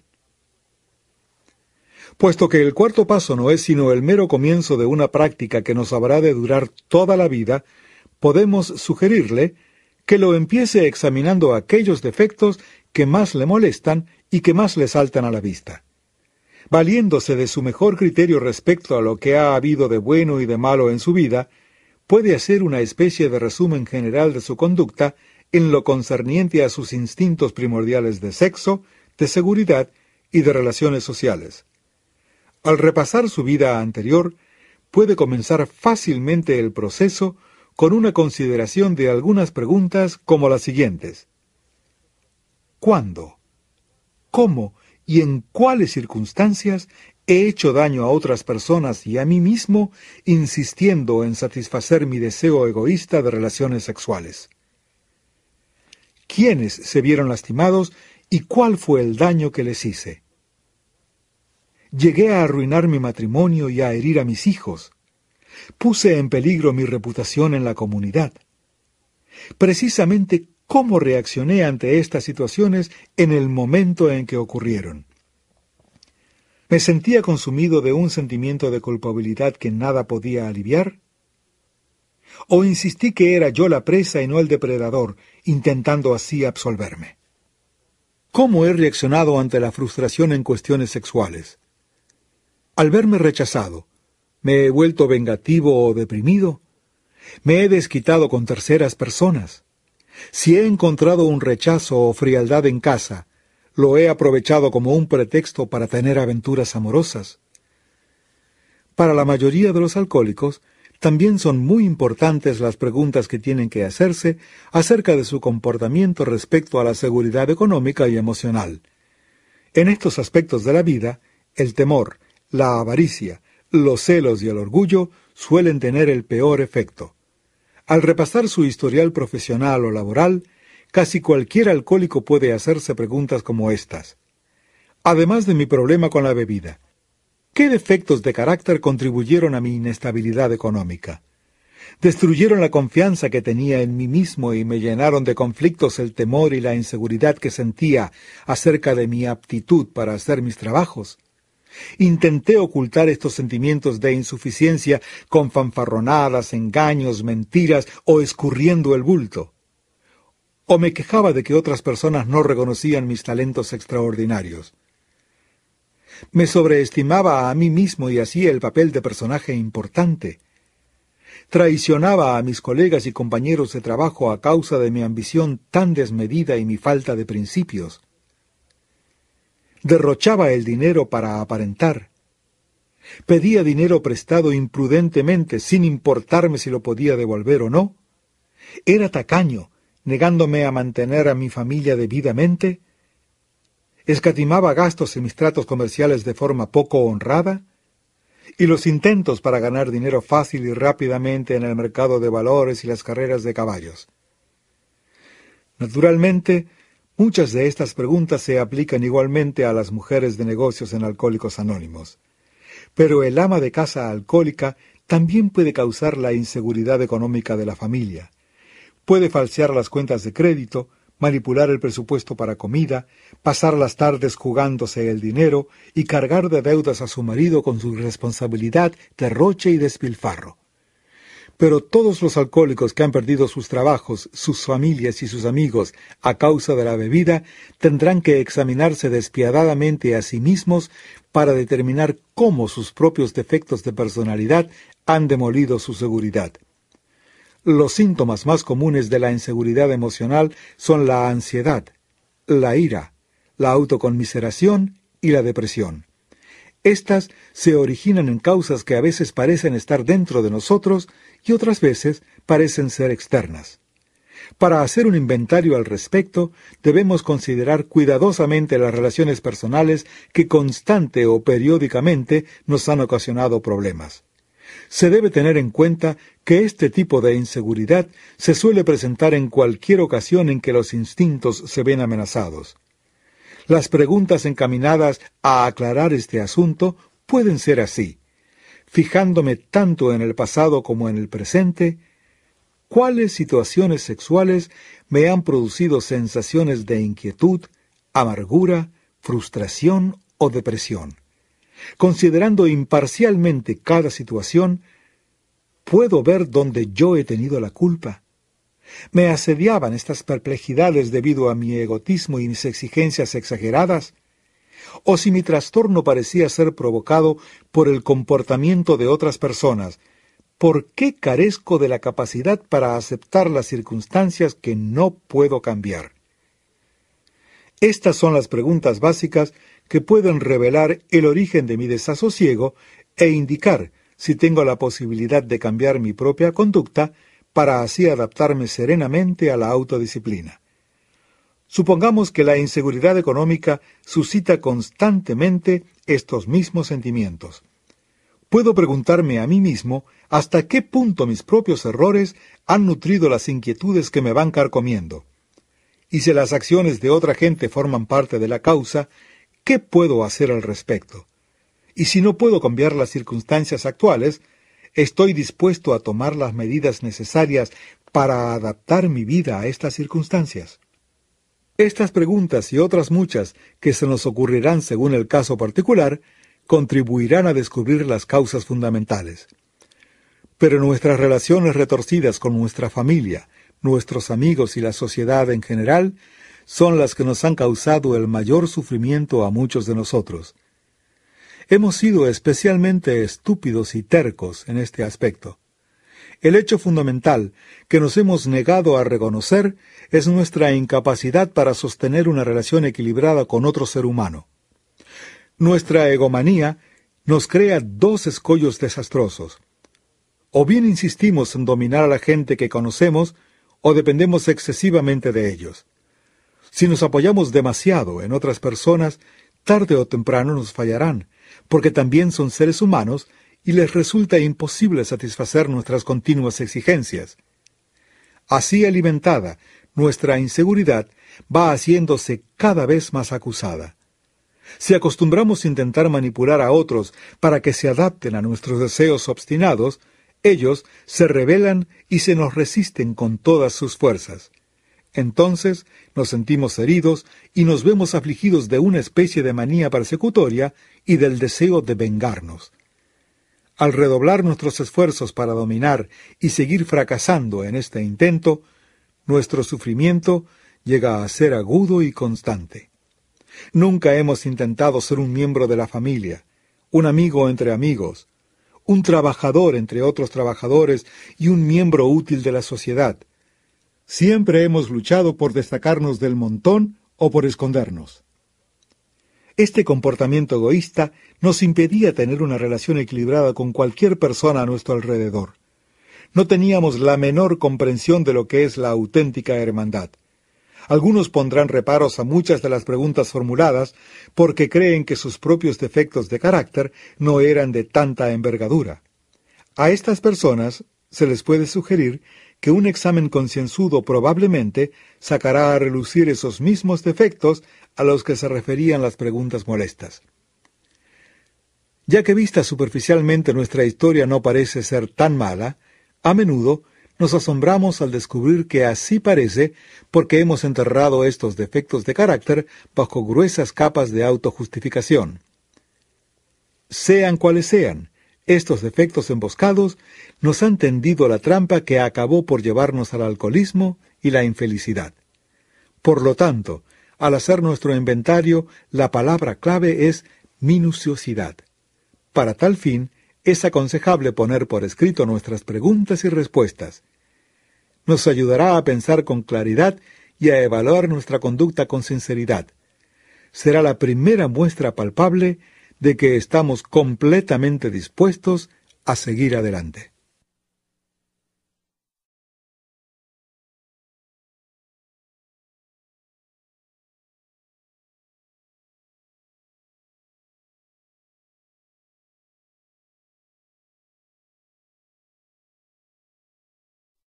Quinto paso.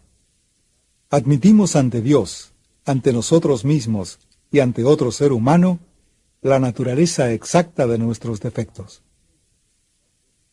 Todos los doce pasos de Alcohólicos Anónimos nos piden que vayamos en contra de nuestros deseos naturales.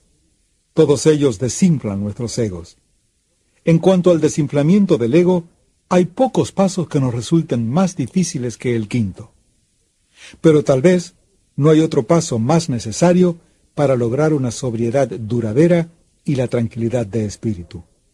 La experiencia de Alcohólicos Anónimos nos ha enseñado que no podemos vivir a solas con nuestros problemas apremiantes y los defectos de carácter que los causan o los agravan. Si hemos examinado nuestras carreras a la luz del cuarto paso y hemos visto iluminadas y destacadas aquellas experiencias que preferiríamos no recordar, si hemos llegado a darnos cuenta de cómo las ideas y acciones equivocadas nos han lastimado a nosotros y a otras personas, entonces la necesidad de dejar de vivir a solas con los fantasmas atormentadores del pasado cobra cada vez más urgencia. Tenemos que hablar de ellos con alguien. No obstante, es tal la intensidad de nuestro miedo y nuestra desgana a hacerlo que al principio muchos alcohólicos intentan saltar el quinto paso. Buscamos una alternativa más cómoda, que suele ser el admitir de forma general y poco molesta que cuando bebíamos a veces éramos malos actores. Entonces, para remacharlo, añadíamos unas descripciones dramáticas de algunos aspectos de nuestra conducta alcohólica que de todas formas nuestros amigos probablemente ya conocían. Pero acerca de las cosas que realmente nos molestan y nos enojan, no decimos nada. Ciertos recuerdos angustiosos o humillantes, nos decimos, no se deben compartir con nadie los debemos guardar en secreto. Nadie jamás debe conocerlos. Esperamos llevárnoslos a la tumba. Sin embargo, si la experiencia de Alcohólicos Anónimos nos sirve para algo, esta decisión no es sólo poco sensata, sino también muy peligrosa. Pocas actitudes confusas nos han causado más problemas que la de tener reservas en cuanto al quinto paso. Algunas personas ni siquiera pueden mantenerse sobrias por poco tiempo. Otras tendrán recaídas periódicamente hasta que logren poner sus casas en orden. Incluso los veteranos de Alcohólicos Anónimos, que llevan muchos años sobrios, a menudo pagan un precio muy alto por haber escatimado esfuerzos en este paso. Contarán cómo intentaban cargar solos con este peso, cuánto sufrieron de irritabilidad, de angustia, de remordimientos, y de depresión, y cómo al buscar inconscientemente alivio, a veces incluso acusaban a sus mejores amigos de los mismos defectos de carácter que ellos mismos intentaban ocultar. Siempre descubrían que nunca se encuentra el alivio al confesar los pecados de otra gente. Cada cual tiene que confesar los suyos. Esta costumbre de reconocer los defectos de uno mismo ante otra persona es por supuesto muy antigua. Su valor ha sido confirmado en cada siglo y es característico de las personas que centran sus vidas en lo espiritual y que son verdaderamente religiosas. Pero hoy día, no solo la religión aboga a favor de este principio salvador. Los psiquiatras y los psicólogos recalcan la profunda y práctica necesidad que tiene todo ser humano de conocerse a sí mismo y de conocer sus defectos de personalidad y poder hablar de ellos con una persona comprensiva y de confianza. En cuanto a los alcohólicos, Alcohólicos Anónimos iría aún más lejos. La mayoría de nosotros diríamos que sin admitir sin miedo nuestros defectos ante otro ser humano, no podríamos mantenernos sobrios. Parece bien claro que la gracia de Dios no entrará en nuestras vidas para expulsar nuestras obsesiones destructoras hasta que no estemos dispuestos a intentarlo. ¿Qué podemos esperar recibir del quinto paso? Entre otras cosas, nos libraremos de esa terrible sensación de aislamiento que siempre hemos tenido. Casi sin excepción, los alcohólicos están torturados por la soledad. Incluso antes de que nuestra forma de beber se agravara hasta tal punto que los demás se alejaran de nosotros, casi todos nosotros sufríamos de la sensación de no encajar en ninguna parte. O bien éramos tímidos y no nos atrevíamos a acercarnos a otros, o éramos propensos a ser muy extrovertidos, ansiando atenciones y camaradería, sin conseguirlas nunca, o al menos según nuestro parecer. Siempre había esa misteriosa barrera que no podíamos superar ni entender. Era como si fuéramos actores en escena que de pronto se dan cuenta de no poder recordar ni una línea de sus papeles. Esta es una de las razones por las que nos gustaba tanto el alcohol.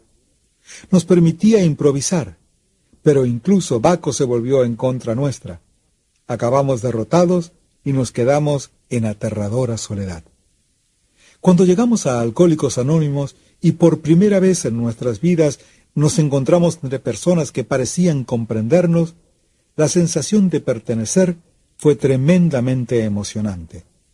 Creíamos que el problema del aislamiento había sido resuelto, pero pronto descubrimos que aunque ya no estábamos aislados en el sentido social, todavía seguíamos sufriendo las viejas punzadas del angustioso aislamiento.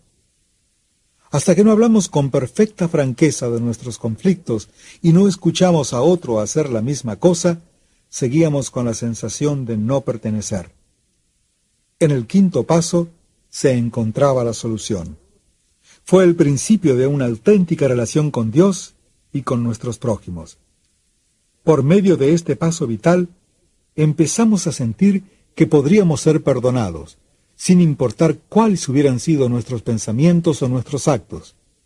Muchas veces, mientras practicábamos este paso con la ayuda de nuestros padrinos o consejeros espirituales, por primera vez nos sentimos capaces de perdonar a otros, fuera cual fuera el daño que creíamos que nos habían causado. Nuestro inventario moral nos dejó convencidos de que lo deseable era el perdón general, pero hasta que no emprendimos resueltamente el quinto paso, no llegamos a saber en nuestro fuero interno que podríamos recibir el perdón y también concederlo. Otro gran beneficio que podemos esperar del hecho de confiar nuestros defectos a otra persona es la humildad una palabra que suele interpretarse mal. Para los que hemos hecho progresos en Alcohólicos Anónimos, equivale a un reconocimiento claro de lo que somos y quiénes somos realmente, seguido de un esfuerzo sincero de llegar a ser lo que podemos ser. Por lo tanto, lo primero que debemos hacer para encaminarnos hacia la humildad es reconocer nuestros defectos. No podemos corregir ningún defecto si no lo vemos claramente pero vamos a tener que hacer algo más que ver. El examen objetivo de nosotros mismos, que logramos hacer en el cuarto paso, solo era, después de todo, un examen. Por ejemplo, todos nosotros vimos que nos faltaba honradez y tolerancia, que a veces nos veíamos asediados por ataques de autoconmiseración y por delirios de grandeza. No obstante, aunque esta era una experiencia humillante, no significaba forzosamente que hubiéramos logrado una medida de auténtica humildad. A pesar de haberlos reconocido, todavía teníamos estos defectos. Había que hacer algo al respecto. Y pronto nos dimos cuenta de que ni nuestros deseos ni nuestra voluntad servían por sí solos para superarlos. El ser más realistas y por lo tanto más sinceros con respecto a nosotros mismos son los grandes beneficios de los que gozamos bajo la influencia del quinto paso. Al hacer nuestro inventario, empezamos a ver cuántos problemas nos había causado el autoengaño. Esto nos provocó una reflexión desconcertante. Si durante toda nuestra vida nos habíamos estado engañando a nosotros mismos, ¿cómo podíamos estar seguros ahora de no seguir haciéndolo? ¿Cómo podíamos estar seguros de haber hecho un verdadero catálogo de nuestros defectos y de haberlos reconocido sinceramente, incluso ante nosotros mismos? Puesto que seguíamos presas del miedo, de la autoconmiseración y de los sentimientos heridos, lo más probable era que no podríamos llegar a una justa apreciación de nuestro estado real. Un exceso de sentimientos de culpabilidad y de remordimientos podría conducirnos a dramatizar y exagerar nuestras deficiencias. O la ira y el orgullo herido podrían ser la cortina de humo tras la que ocultábamos algunos de nuestros defectos, mientras que culpábamos a otros por ellos. También era posible que todavía estuviéramos incapacitados por muchas debilidades, grandes y pequeñas, que ni siquiera sabíamos que tuviéramos. Por lo tanto, nos parecía muy obvio que hacer un examen solitario de nosotros mismos y reconocer nuestros defectos basándonos únicamente en esto no iba a ser suficiente. Tendríamos que contar con ayuda ajena para estar seguros de conocer y admitir la verdad acerca de nosotros mismos, la ayuda de Dios y de otro ser humano. Solo al darnos a conocer totalmente y sin reservas, solo al estar dispuestos a escuchar consejos y aceptar orientación, podríamos poner pie en el camino del recto pensamiento, de la rigurosa honradez y de la auténtica humildad. No obstante, muchos de nosotros seguíamos vacilando. Nos dijimos, ¿por qué no nos puede indicar Dios como lo concebimos dónde nos desviamos? Si el Creador fue quien nos dio la verdad, Él sabrá con todo detalle en dónde nos hemos equivocado. ¿Por qué no admitir nuestros defectos directamente ante Él?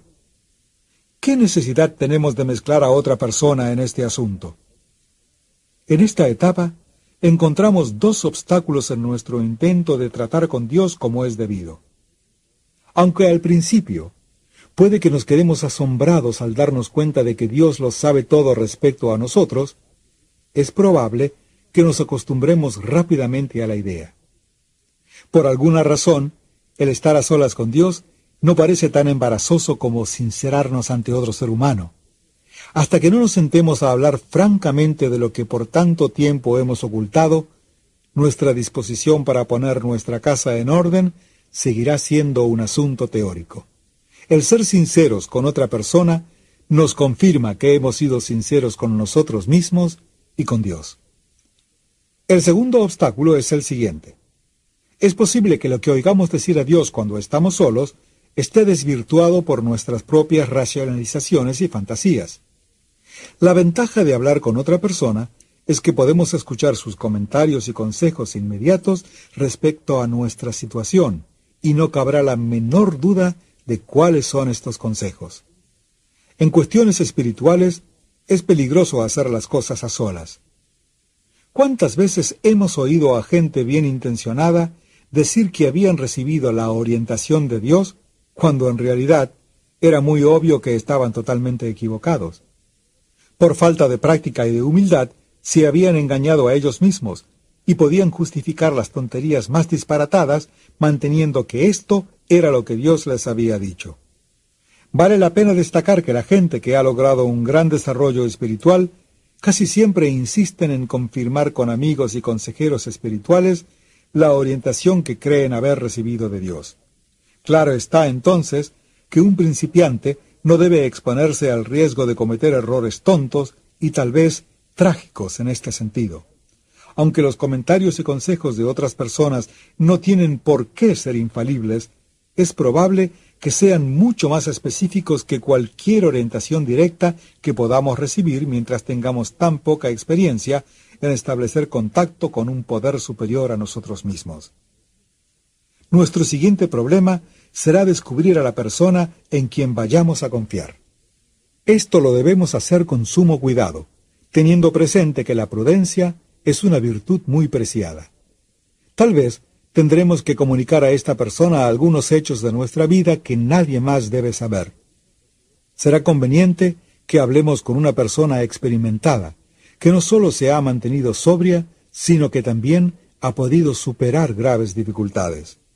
Dificultades tal vez parecidas a las nuestras. Puede suceder que esta persona sea nuestro padrino, pero no es necesario que sea así.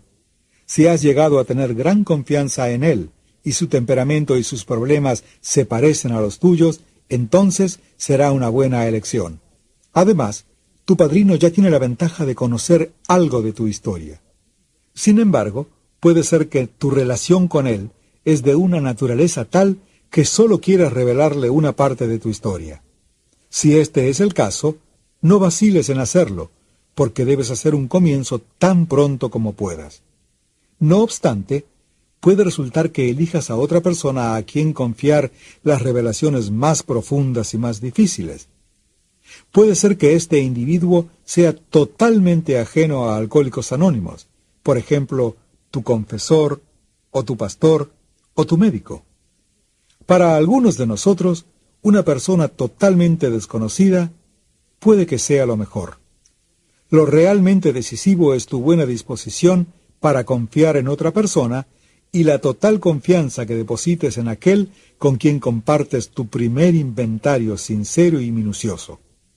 Incluso después de haber encontrado a esa persona, muchas veces se requiere una gran resolución para acercarse a él o a ella. Que nadie diga que el programa de Alcohólicos Anónimos no exige ninguna fuerza de voluntad. Esta situación puede que requiera toda la que tengas. Afortunadamente, es muy probable que te encuentres con una sorpresa muy agradable. Cuando le hayas explicado cuidadosamente tu intención y el depositario de tu confianza vea lo verdaderamente útil que puede ser, les resultará fácil empezar la conversación y pronto será muy animada. Es muy probable que la persona que te escucha no tarde mucho en contarte un par de historias acerca de él mismo, lo cual te hará sentirte aún más cómodo. Con tal que no ocultes nada, cada minuto que pase te irás sintiendo más aliviado. Las emociones que has tenido reprimidas durante tantos años salen a la luz y una vez iluminadas, milagrosamente se desvanecen. Según van desapareciendo los dolores, los reemplaza una tranquilidad sanadora. Y cuando la humildad y la serenidad se combinan de esta manera, es probable que ocurra algo de gran significación. Muchos alcohólicos anónimos que una vez fueron agnósticos o ateos, nos dicen que en esta etapa del quinto paso sintieron por primera vez la presencia de Dios. E incluso aquellos que ya habían tenido fe, muchas veces logran tener un contacto consciente con Dios más profundo que nunca. Esta sensación de unidad con Dios y con el hombre, este salir del aislamiento al compartir abierta y sinceramente la terrible carga de nuestro sentimiento de culpabilidad, nos lleva a un punto de reposo donde podemos prepararnos para dar los siguientes pasos hacia una sobriedad completa y llena de significado.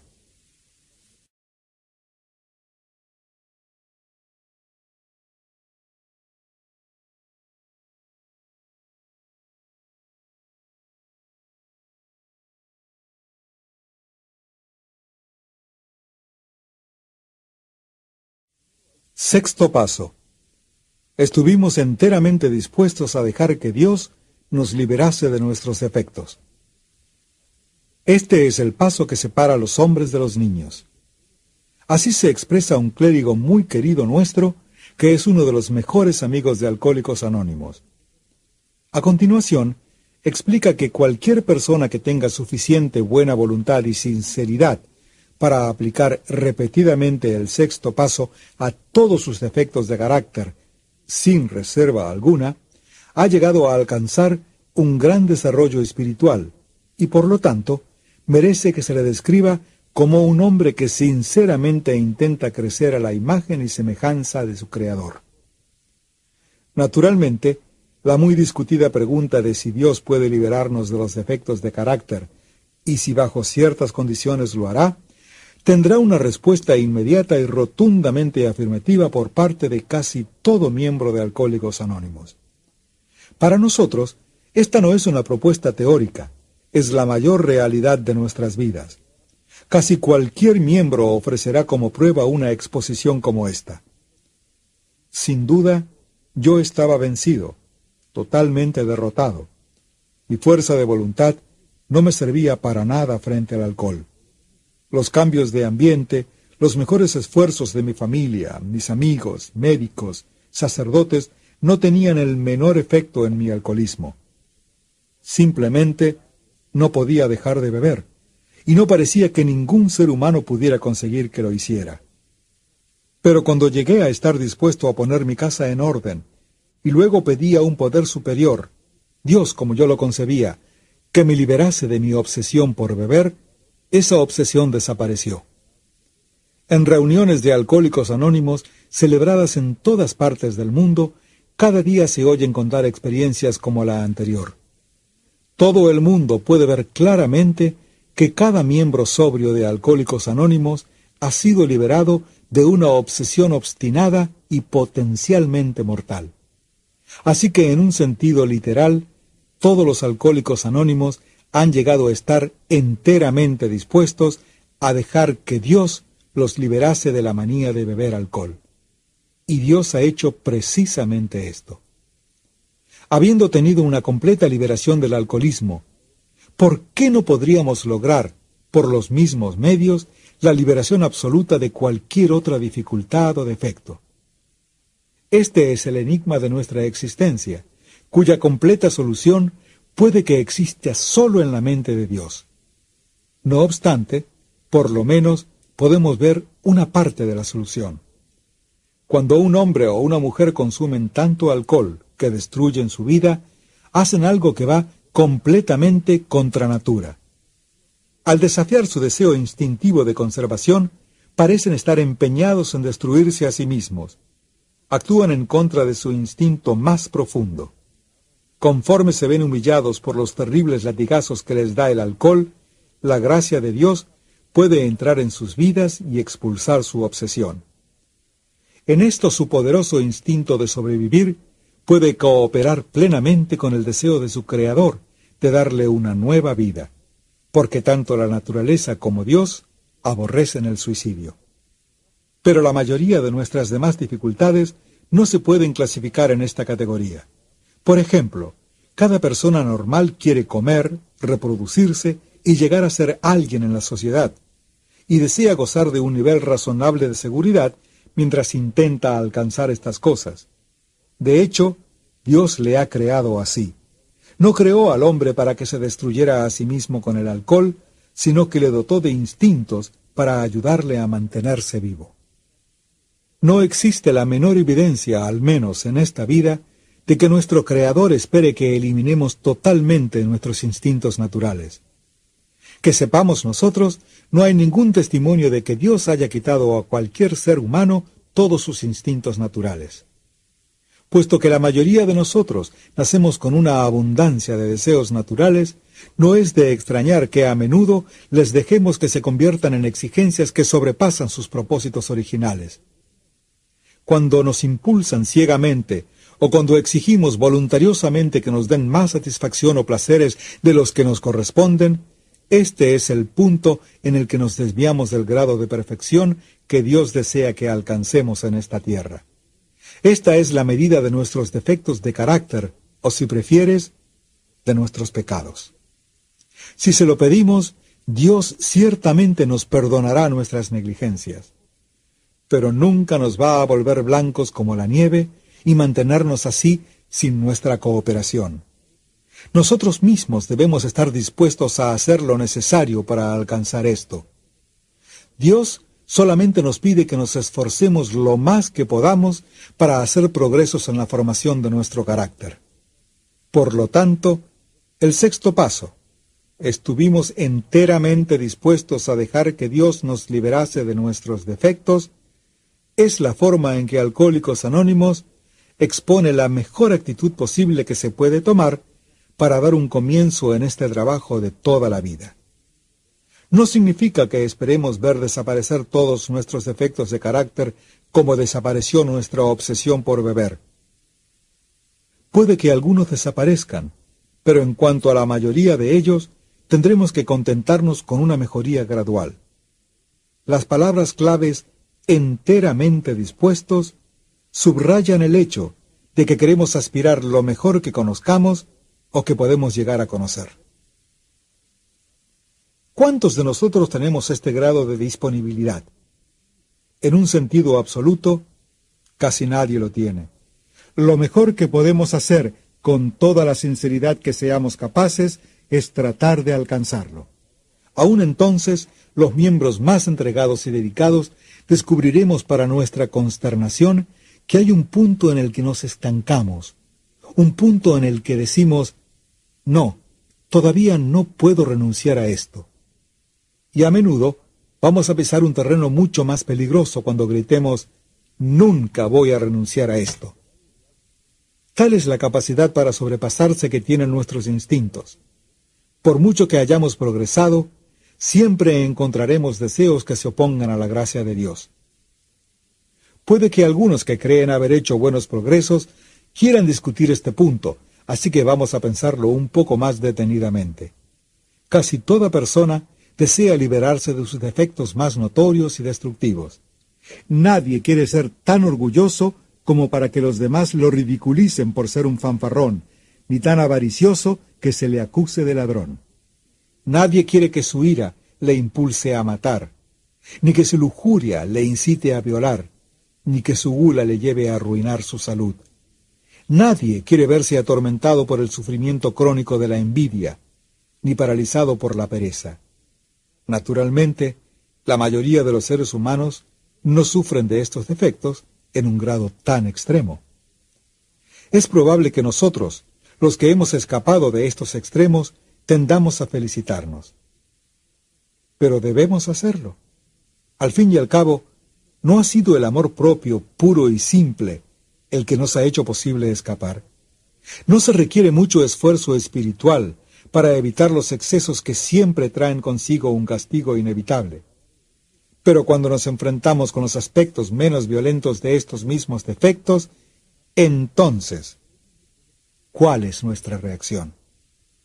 Lo que tenemos que reconocer ahora es que algunos de nuestros defectos nos deleitan inmensamente realmente nos encantan.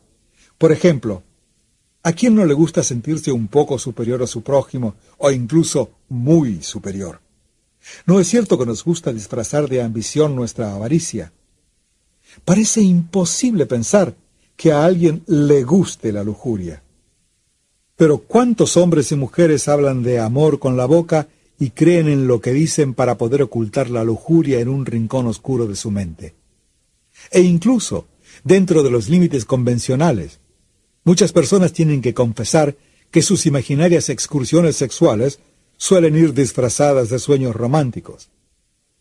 La ira farisaica también puede ser muy agradable. De una manera perversa, incluso nos puede satisfacer el hecho de que mucha gente nos fastidia, porque nos produce una sensación reconfortante de superioridad. El chismorreo, emponzoñado con nuestra ira, una especie de asesinato cortés por calumnia, también tiene sus satisfacciones para nosotros. En este caso, no intentamos ayudar a los que criticamos, pretendemos proclamar nuestra propia rectitud. Cuando la gula no llega al grado de arruinar nuestra salud, solemos darle un nombre más benigno. Decimos que disfrutamos de nuestro bienestar. Vivimos en un mundo carcomido por la envidia en menor o mayor grado, les infecta a todos. De este defecto debemos de sacar una clara aunque deformada satisfacción. Si no, ¿por qué íbamos a malgastar tanto tiempo en desear lo que no tenemos en lugar de trabajar por conseguirlo? O en buscar atributos que nunca tendremos y sentirnos airados al no encontrarlos en lugar de ajustarnos a la realidad y aceptarla. ¿Y cuántas veces no trabajamos con gran ahínco sin otro motivo más noble que el de rodearnos de seguridad y abandonarlos en la pereza más tarde. Solo que a esto lo llamamos buena jubilación. Consideremos además nuestro talento para dejarlo todo para mañana, lo que no es sino una variedad de la pereza.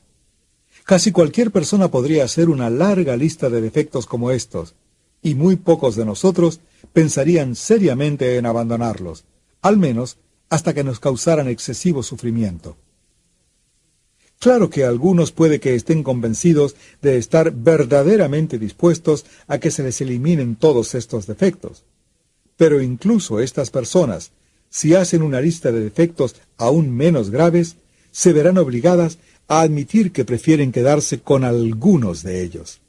Por lo tanto, parece claro que pocos de nosotros podemos rápida y fácilmente llegar a estar dispuestos a aspirar la perfección espiritual y moral. Solemos contentarnos con la perfección suficiente para permitirnos salir del paso, según naturalmente nuestras diversas ideas personales de lo que significa salir del paso. Así que la diferencia entre los niños y los hombres es la diferencia entre aquel que se esfuerza por alcanzar un objetivo marcado por él mismo y aquel que aspira a alcanzar el objetivo perfecto, que es el de Dios. Muchos preguntarán enseguida, ¿cómo podemos aceptar todas las implicaciones del sexto paso? Pues esto es la perfección. Esta parece ser una pregunta difícil de contestar, pero en la práctica no lo es. Solamente el primer paso en el que admitimos sin reserva alguna que éramos impotentes ante el alcohol se puede practicar con perfección absoluta. Los once pasos restantes exponen ideales perfectos. Son metas que aspiramos a alcanzar y patrones con los que medimos nuestro progreso. Visto así, el sexto paso sigue siendo difícil, pero no imposible. La única cosa urgente es que comencemos y sigamos intentándolo. Si esperamos poder valernos de este paso para solucionar problemas distintos del alcohol, tendremos que hacer un nuevo intento para ampliar nuestra mente. Tendremos que levantar nuestra mirada hacia la perfección y estar dispuestos a encaminarnos en esa dirección. Poco importará lo vacilantes que caminemos. La única pregunta que tendremos que hacernos es, ¿estamos dispuestos? Al repasar de nuevo aquellos defectos que aún no estamos dispuestos a abandonar, debemos derrumbar las barreras rígidas que nos hemos impuesto. Tal vez todavía nos veremos obligados a decir en algunos casos, aún no puedo abandonar esto, pero nunca debemos decirnos, jamás abandonaré esto. Deshagámonos ahora de una posible trampa peligrosa que hemos dejado en el camino. Se sugiere que debemos llegar a estar dispuestos a aspirar a alcanzar la perfección. No obstante, se nos indica que alguna demora se nos puede perdonar. En la mente de un alcohólico, experto en la invención de excusas, la palabra demora puede adquirir un significado de futuro lejano. Puede decir, ¡qué fácil! Claro que me voy a encaminar hacia la perfección, pero no veo por qué he de apresurarme. Tal vez puedo posponer indefinidamente el enfrentarme a algunos de mis problemas. Por supuesto, esto no servirá. Esta manera de engañarse a uno mismo tendrá que seguir el mismo camino que otras muchas justificaciones agradables. Como mínimo, tendremos que enfrentarnos a algunos de nuestros peores defectos de carácter y ponernos a trabajar para eliminarlos tan pronto como podamos. Al decir nunca, jamás, cerramos nuestra mente a la gracia de Dios. La demora es peligrosa y la rebeldía puede significar la muerte. Este es el punto en el que abandonamos los objetivos limitados y nos acercamos a la voluntad de Dios para con nosotros.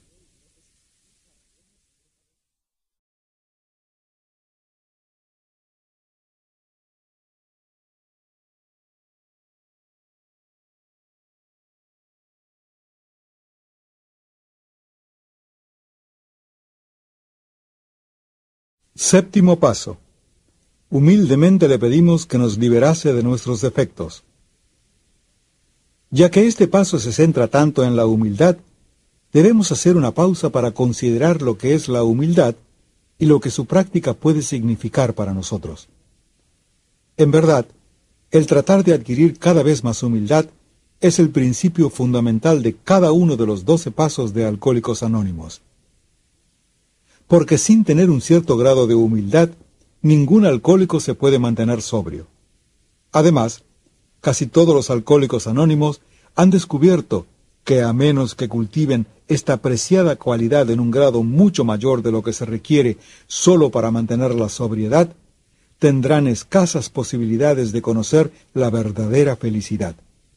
Sin ella, no pueden llevar una vida de mucha utilidad, ni en la adversidad pueden contar con la fe suficiente para responder a cualquier emergencia. La humildad, como palabra y como ideal, no la ha pasado muy bien en nuestro mundo. No solamente se entiende mal la idea, sino que también la palabra suscita a menudo una gran aversión. Muchas personas ni siquiera tienen la menor comprensión de la humildad como manera de vivir. Mucho de lo que oímos decir a la gente en nuestra vida diaria y una buena parte de lo que leemos destaca el orgullo que siente el ser humano por sus propios logros. Con gran inteligencia, los científicos han venido forzando a la naturaleza a que revele sus secretos. Los inmensos recursos a los que ahora disponemos nos prometen una cantidad de bendiciones materiales tan grande que muchos han llegado a creer que nos encontramos en el umbral de una edad de oro, forjada por la mano del hombre. La pobreza desaparecerá habrá tal abundancia que todos disfrutaremos de toda la seguridad y todas las satisfacciones personales que deseemos. La teoría parece sostener que una vez que queden satisfechos los instintos primordiales de todos los seres humanos, habrá muy poco motivo para pelearnos. El mundo entonces se volverá feliz y se verá libre para concentrarse en la cultura y el carácter. Solo con su propia inteligencia y esfuerzos, la humanidad habrá forjado su destino. Sin duda, ningún alcohólico, y desde luego ningún miembro de Alcohólicos Anónimos, quiere menospreciar los logros materiales. Ni discutimos con los muchos que todavía se aferran tan apasionadamente a la creencia de que la satisfacción de nuestros deseos naturales básicos es el objetivo primordial de la vida. Pero estamos seguros de que ninguna clase de gente de este mundo ha fracasado tan rotundamente al tratar de vivir conforme a esta fórmula como los alcohólicos. Hace miles de años que venimos exigiendo más de lo que nos corresponde de seguridad, de prestigio y de amor. Cuando parecía que teníamos éxito, Bebíamos para tener sueños aún más grandiosos. Cuando nos sentíamos frustrados, aunque solo fuera en parte, bebíamos para olvidar. Nunca había suficiente de lo que creíamos que queríamos. En todos estos empeños, muchos de ellos bien intencionados, nuestro mayor impedimento había sido la falta de humildad. Nos faltaba la perspectiva suficiente para ver que la formación del carácter y los valores espirituales tenían que anteponerse a todo, y que las satisfacciones materiales no constituían el objetivo de la vida. De una manera muy característica, nos habíamos pasado de la raya, confundiendo el fin con los medios. En vez de considerar la satisfacción de nuestros deseos materiales como el medio por el que podríamos vivir y funcionar como seres humanos, la habíamos considerado como la meta y el objetivo final de la vida. Es cierto que la mayoría de nosotros creíamos deseable tener un buen carácter, pero el buen carácter evidentemente era algo que se necesitaba para seguir en el empeño de satisfacer nuestros deseos. Con una apropiada muestra de honradez y moralidad, tendríamos una mayor probabilidad de conseguir lo que realmente queríamos. Pero siempre que teníamos que escoger entre el carácter y la comodidad, la formación del carácter se perdió en el polvo que levantábamos al perseguir lo que creíamos era la felicidad. Muy rara vez considerábamos la formación del carácter como algo deseable en sí mismo, algo por lo que nos gustaría esforzarnos, sin importar que se satisfacieran o no nuestras necesidades instintivas. Nunca se nos ocurrió basar nuestras vidas cotidianas en la honradez, la tolerancia y el verdadero amor a Dios y a nuestros semejantes. Esta falta de arraigo a cualquier valor permanente, esta incapacidad de ver el verdadero objetivo de nuestra vida, producía en nosotros otro mal efecto. Mientras siguiéramos convencidos de poder vivir contando exclusivamente con nuestras propias fuerzas y nuestra propia inteligencia, nos era imposible tener una fe operante en un poder superior. Y esto era cierto aún cuando creíamos que Dios existía podíamos tener sinceras creencias religiosas que resultaban infructuosas porque nosotros mismos seguíamos tratando de hacer el papel de Dios. Mientras insistiéramos en poner en primer lugar nuestra propia independencia, la verdadera dependencia de un poder superior era totalmente impensable. Nos faltaba el ingrediente básico de toda humildad, el deseo de conocer y hacer la voluntad de Dios. Para nosotros, el proceso de alcanzar una nueva perspectiva fue increíblemente doloroso. Solo tras repetidas humillaciones nos vimos forzados a aprender algo respecto a la humildad. Solo al llegar al fin de un largo camino, marcado por sucesivas desgracias y humillaciones y por la arrolladora derrota final de nuestra confianza en nosotros mismos, empezamos a sentir la humildad como algo más que una condición de abyecta desesperación. A cada recién llegado a Alcohólicos Anónimos se le dice, y muy pronto llega a darse cuenta por sí mismo, que esta humilde admisión de impotencia ante el alcohol es su primer paso hacia la liberación de su dominio paralizador. Es así como por primera vez vemos la necesidad de tener humildad. Pero esto no es sino un mero comienzo.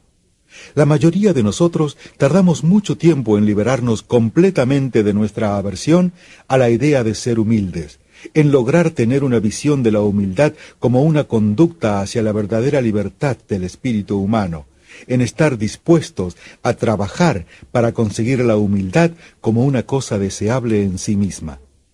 No se puede dar una vuelta de 180 grados en un abrir y cerrar de ojos a toda una vida encaminada a satisfacer nuestros deseos egocéntricos. Al principio, la rebeldía pone trabas a cada paso que intentamos dar. Cuando por fin admitimos sin reserva que somos impotentes ante el alcohol, es muy posible que demos un suspiro de alivio diciendo, gracias a Dios, eso se acabó. Nunca tendré que volver a pasar por eso.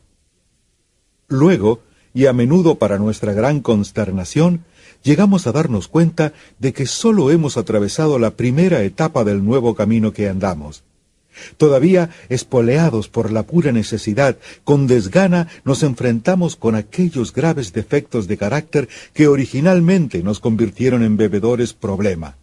Defectos que tenemos que intentar remediar para no volver a caer de nuevo en el alcoholismo.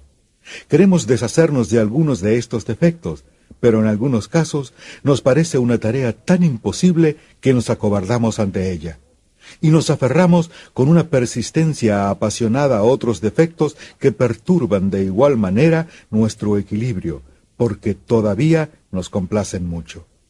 ¿Cómo podemos armarnos de suficiente resolución y buena voluntad como para deshacernos de obsesiones y deseos tan abrumadores? Pero de nuevo nos vemos impulsados a seguir debido a la conclusión inevitable que sacamos de la experiencia de Alcohólicos Anónimos de que la única alternativa a intentar perseverar con determinación en el programa es la de caer al borde del camino. En esta etapa de nuestro progreso nos vemos fuertemente presionados para hacerlo debido, obligados a elegir entre los sufrimientos de intentarlo y los seguros castigos de no hacerlo. Estos primeros pasos en el camino los damos a regañadientes, pero los damos. Es posible que todavía no tengamos la humildad en muy alta estima como una deseable virtud personal, pero no obstante nos damos cuenta de que es una ayuda necesaria para sobrevivir.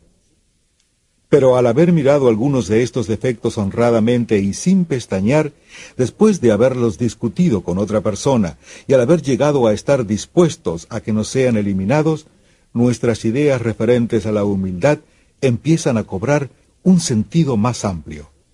En este punto, es muy probable que hayamos obtenido una liberación al menos parcial de nuestros defectos más devastadores. Disfrutamos de momentos en los que sentimos algo parecido a una auténtica tranquilidad de espíritu. Para aquellos de nosotros que hemos conocido únicamente la agitación, la depresión y la ansiedad, en otras palabras, para todos nosotros, esta recién encontrada tranquilidad es un don de inestimable valor. Algo verdaderamente nuevo se ha hecho parte integrante de nuestras vidas.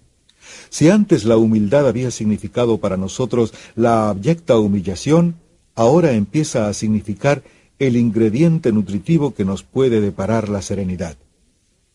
Esta percepción perfeccionada de la humildad desencadena otro cambio revolucionario en nuestra perspectiva.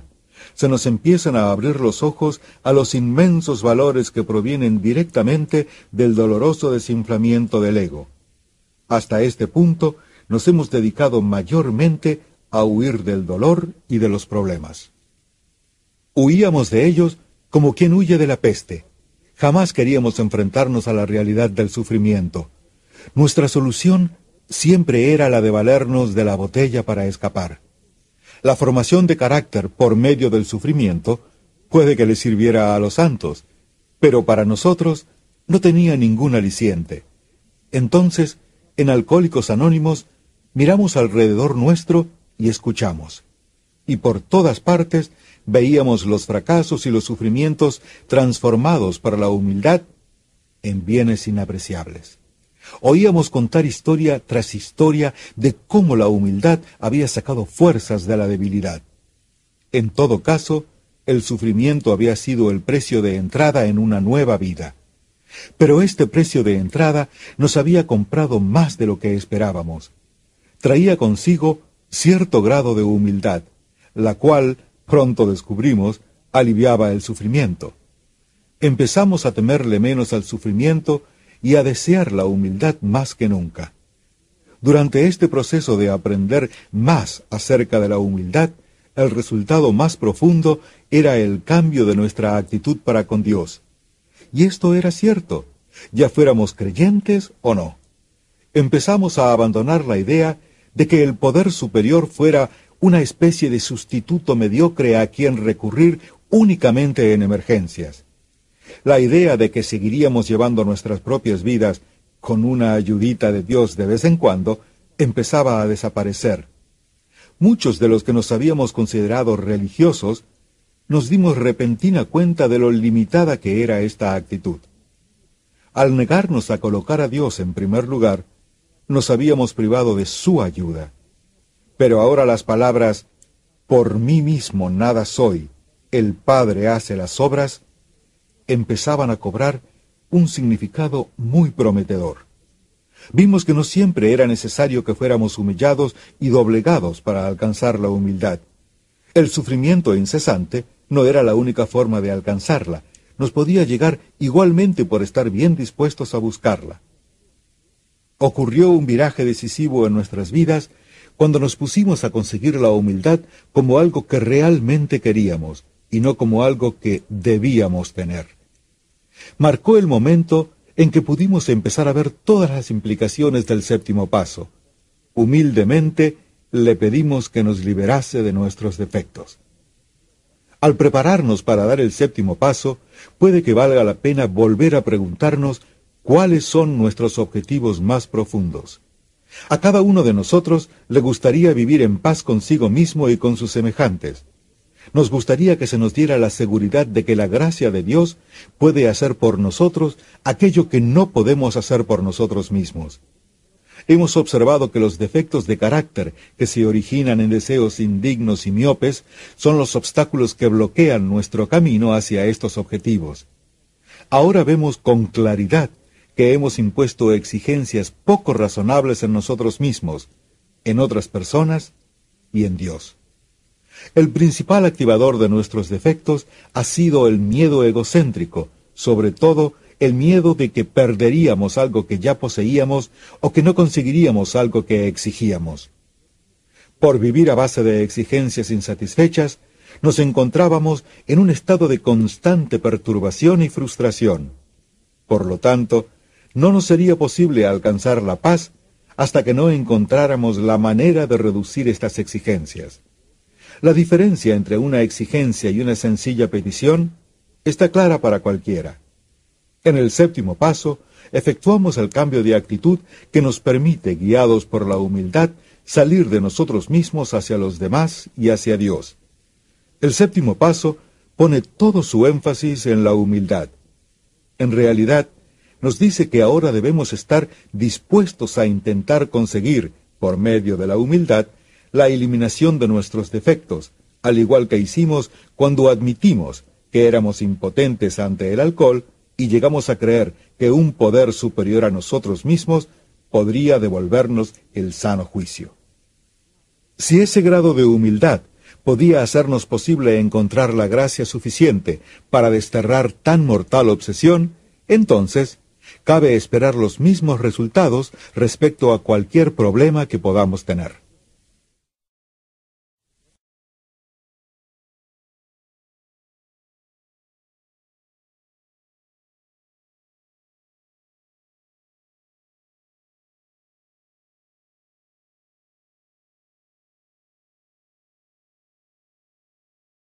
Octavo paso. Hicimos una lista de todas aquellas personas a quienes habíamos ofendido y estuvimos dispuestos a reparar el daño que les causamos. El octavo y el noveno paso tienen que ver con las relaciones personales. Primero, echamos una mirada a nuestro pasado e intentamos descubrir en dónde hicimos algún mal. Segundo, hacemos un enérgico esfuerzo para reparar el daño que hemos causado. Y tercero, habiendo limpiado así los escombros del pasado, nos ponemos a considerar cómo trabar, con nuestro recién adquirido conocimiento de nosotros mismos, las mejores relaciones posibles con todos los seres humanos que conozcamos. Menuda tarea. Tal vez la podemos hacer con creciente destreza, sin jamás acabarla. Aprender a vivir con un máximo de paz, cooperación y compañerismo con todo hombre y mujer, sean quienes sean, es una aventura conmovedora y fascinante. Cada miembro de Alcohólicos Anónimos se ha dado cuenta de que no puede hacer casi ningún progreso en esta aventura hasta que no se vuelva atrás para repasar minuciosa y despiadadamente los desechos humanos que ha dejado en su trayectoria. Hasta cierto grado, ya lo ha hecho al hacer su inventario moral, pero ahora ha llegado el momento de redoblar sus esfuerzos para ver a cuántas personas ha lastimado y de qué manera. El volver a abrir estas heridas emocionales, algunas viejas, otras tal vez olvidadas, y otras más todavía supurando dolorosamente, podrá parecernos al principio una intervención quirúrgica innecesaria e inútil. Pero si se comienza con buena voluntad, las grandes ventajas de hacerlo se manifestarán con tal rapidez que el dolor se irá atenuando conforme se vaya desvaneciendo un obstáculo tras otro. No obstante, estos obstáculos son sin duda realidades. El primero, y uno de los más difíciles de superar, tiene que ver con el perdón. En cuanto empezamos a pensar en una relación rota o retorcida con otra persona, nos ponemos emocionalmente a la defensiva. Para evitar mirar los daños que hemos causado a otra persona, nos enfocamos con resentimiento en el mal que nos ha hecho. Nos resulta aún más fácil hacerlo si, en realidad, esta persona no siempre se ha comportado bien. Triunfantes, nos aferramos a su mala conducta, convirtiéndola en el pretexto ideal para minimizar o ignorar nuestra propia mala conducta. En este preciso instante, tenemos que echar el freno. No tiene mucho sentido que seamos nosotros quienes tiremos la primera piedra. Recordemos que los alcohólicos no son los únicos aquejados de emociones enfermas. Además, por lo general, es un hecho innegable que nuestro comportamiento cuando bebíamos ha agravado los defectos de otras personas. Repetidamente hemos agotado la paciencia de nuestros más íntimos amigos y hemos despertado lo peor en aquellos que nunca nos tenían en muy alta estima. En muchos casos, estamos en realidad tratando con compañeros de sufrimiento, gente cuyos dolores hemos aumentado. Si ahora nos encontramos a punto de pedir el perdón para nosotros mismos, ¿por qué no empezar perdonándolos a todos ellos?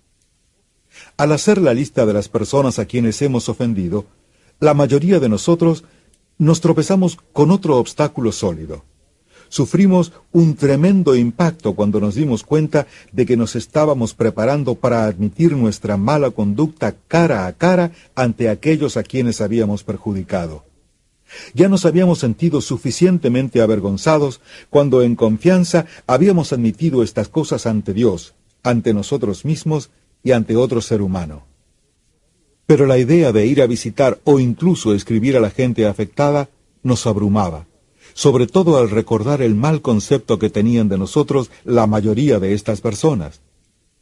También había casos en los que habíamos perjudicado a otras personas que seguían viviendo tan felices sin tener la menor idea del daño que les habíamos causado. ¿Por qué, protestamos, no decir lo pasado pasado? ¿Por qué tenemos que ponernos a pensar en esa gente?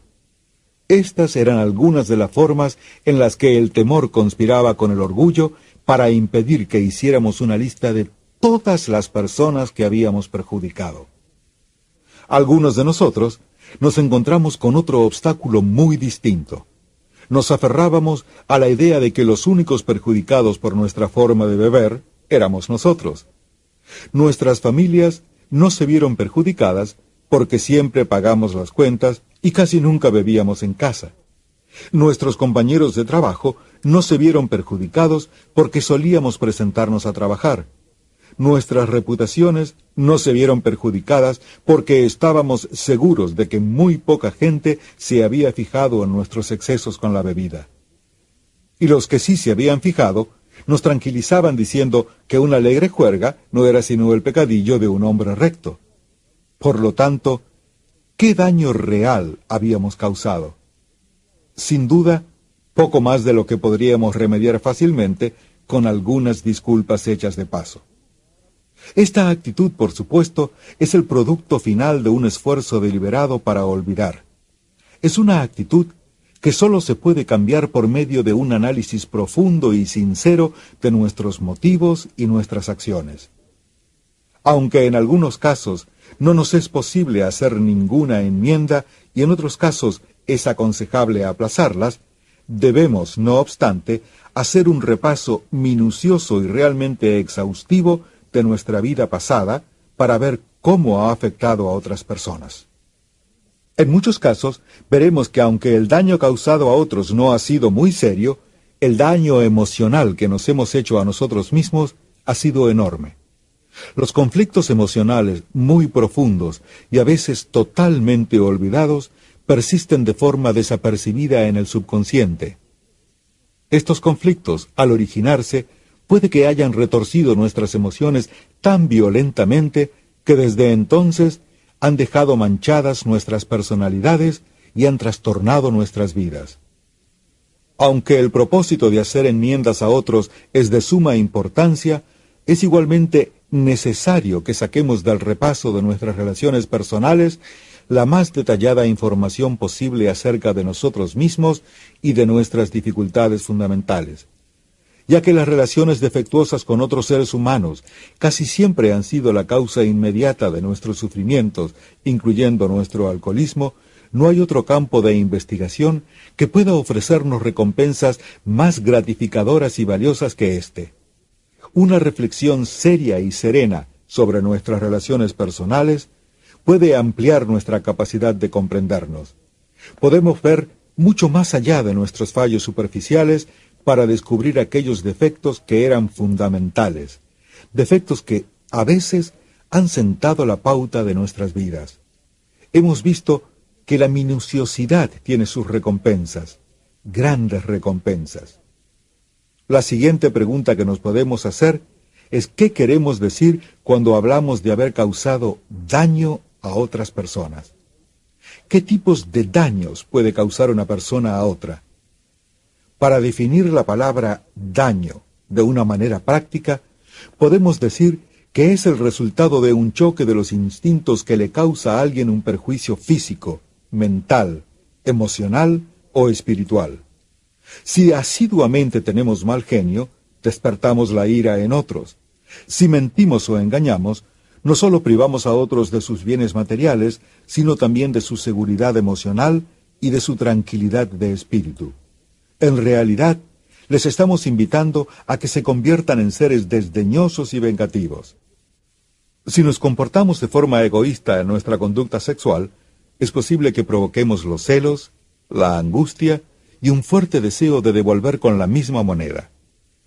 Estas afrentas tan descaradas no constituyen ni mucho menos una lista completa de los daños que podemos causar. Consideremos algunas de las más sutiles que a veces pueden ser tan dañinas. Supongamos que somos tacaños, irresponsables, insensibles o fríos con nuestras familias. Supongamos que somos irritables, criticones, impacientes y sin ningún sentido de humor.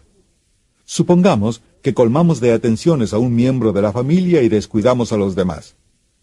¿Qué sucede cuando intentamos dominar a toda la familia, ya sea con mano de hierro o inundándoles con un sinfín de indicaciones minuciosas acerca de cómo deben vivir sus vidas de hora en hora?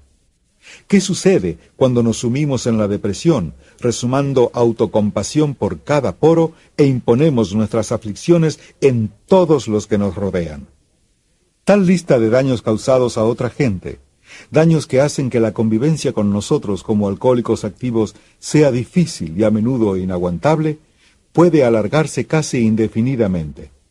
Cuando llevamos estos rasgos de personalidad al taller, a la oficina o a cualquier otra actividad social, pueden causar daños casi tan grandes como los que hemos causado en casa.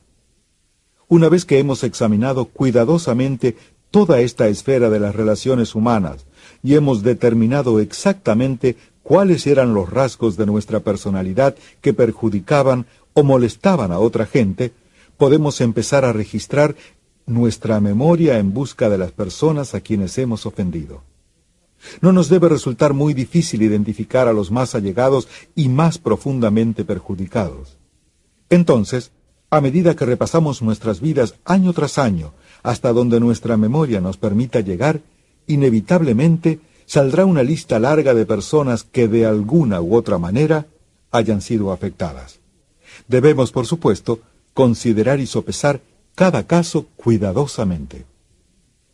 Nuestro objetivo debe limitarse a admitir las cosas que nosotros hemos hecho y al mismo tiempo perdonar los agravios reales o imaginarios que se nos han hecho. Debemos evitar las críticas extremadas, tanto de nosotros como de los demás. No debemos exagerar nuestros defectos ni los suyos. Un enfoque sereno e imparcial será nuestra meta constante. Si al ir a apuntar un nombre en la lista, nuestro lápiz empieza a titubear, podemos cobrar fuerzas y ánimos recordando lo que ha significado para otros la experiencia de Alcohólicos Anónimos en este paso. Es el principio del fin de nuestro aislamiento de Dios y de nuestros semejantes.